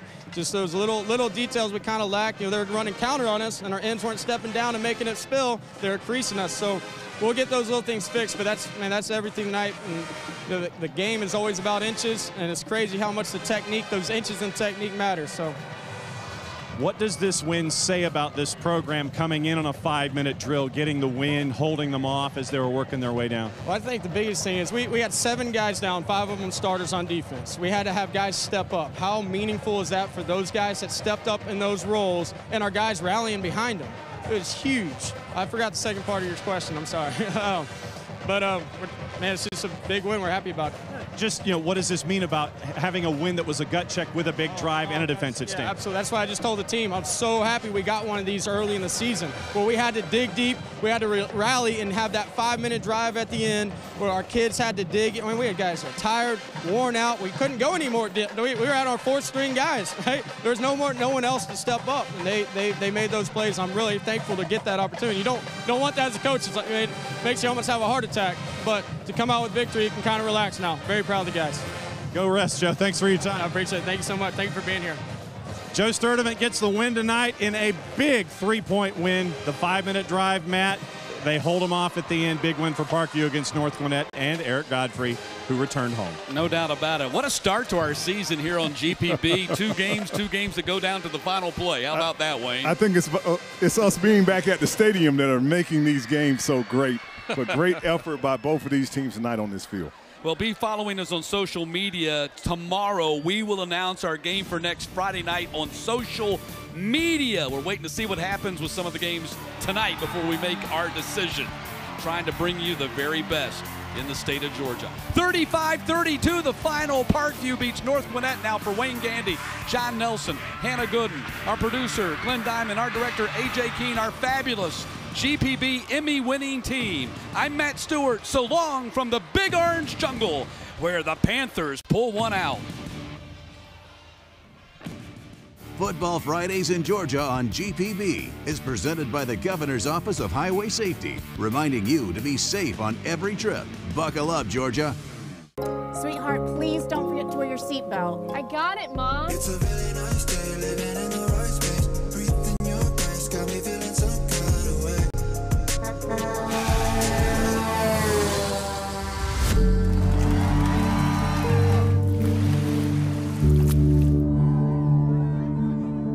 In the blink of an eye, so many tomorrows can disappear. Buckle up for your future, every trip, every time. A message from the Governor's Office of Highway Safety.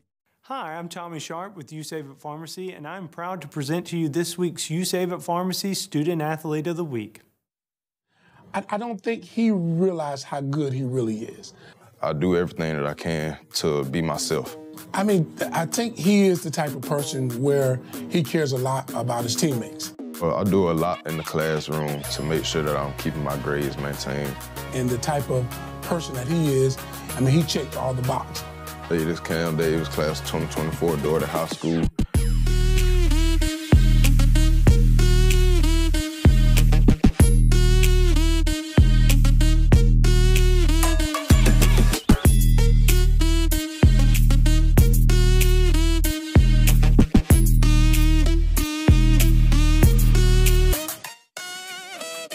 Hope you've enjoyed watching the U Save It's Pharmacy Student Athlete of the Week. If you'd like to watch our full interview, please follow this link. Football Fridays in Georgia on GPB is brought to you in part by Georgia's EMCs. So much more than electricity. Today's conservation minded consumer cares about where their energy comes from. Your local EMC cares too. Georgia's electric membership cooperatives offer renewable options for our members.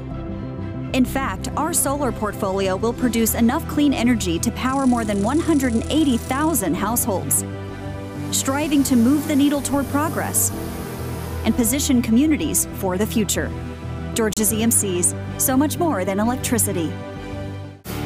Football Fridays in Georgia on GPB is brought to you in part by Regions Bank. Get back in the game with Regions Bank. At Region Bank, we're here to listen to your needs, and we'll customize a plan to help you reach your financial goals. Our service to Georgia goes beyond banking to creating more inclusive prosperity in our communities.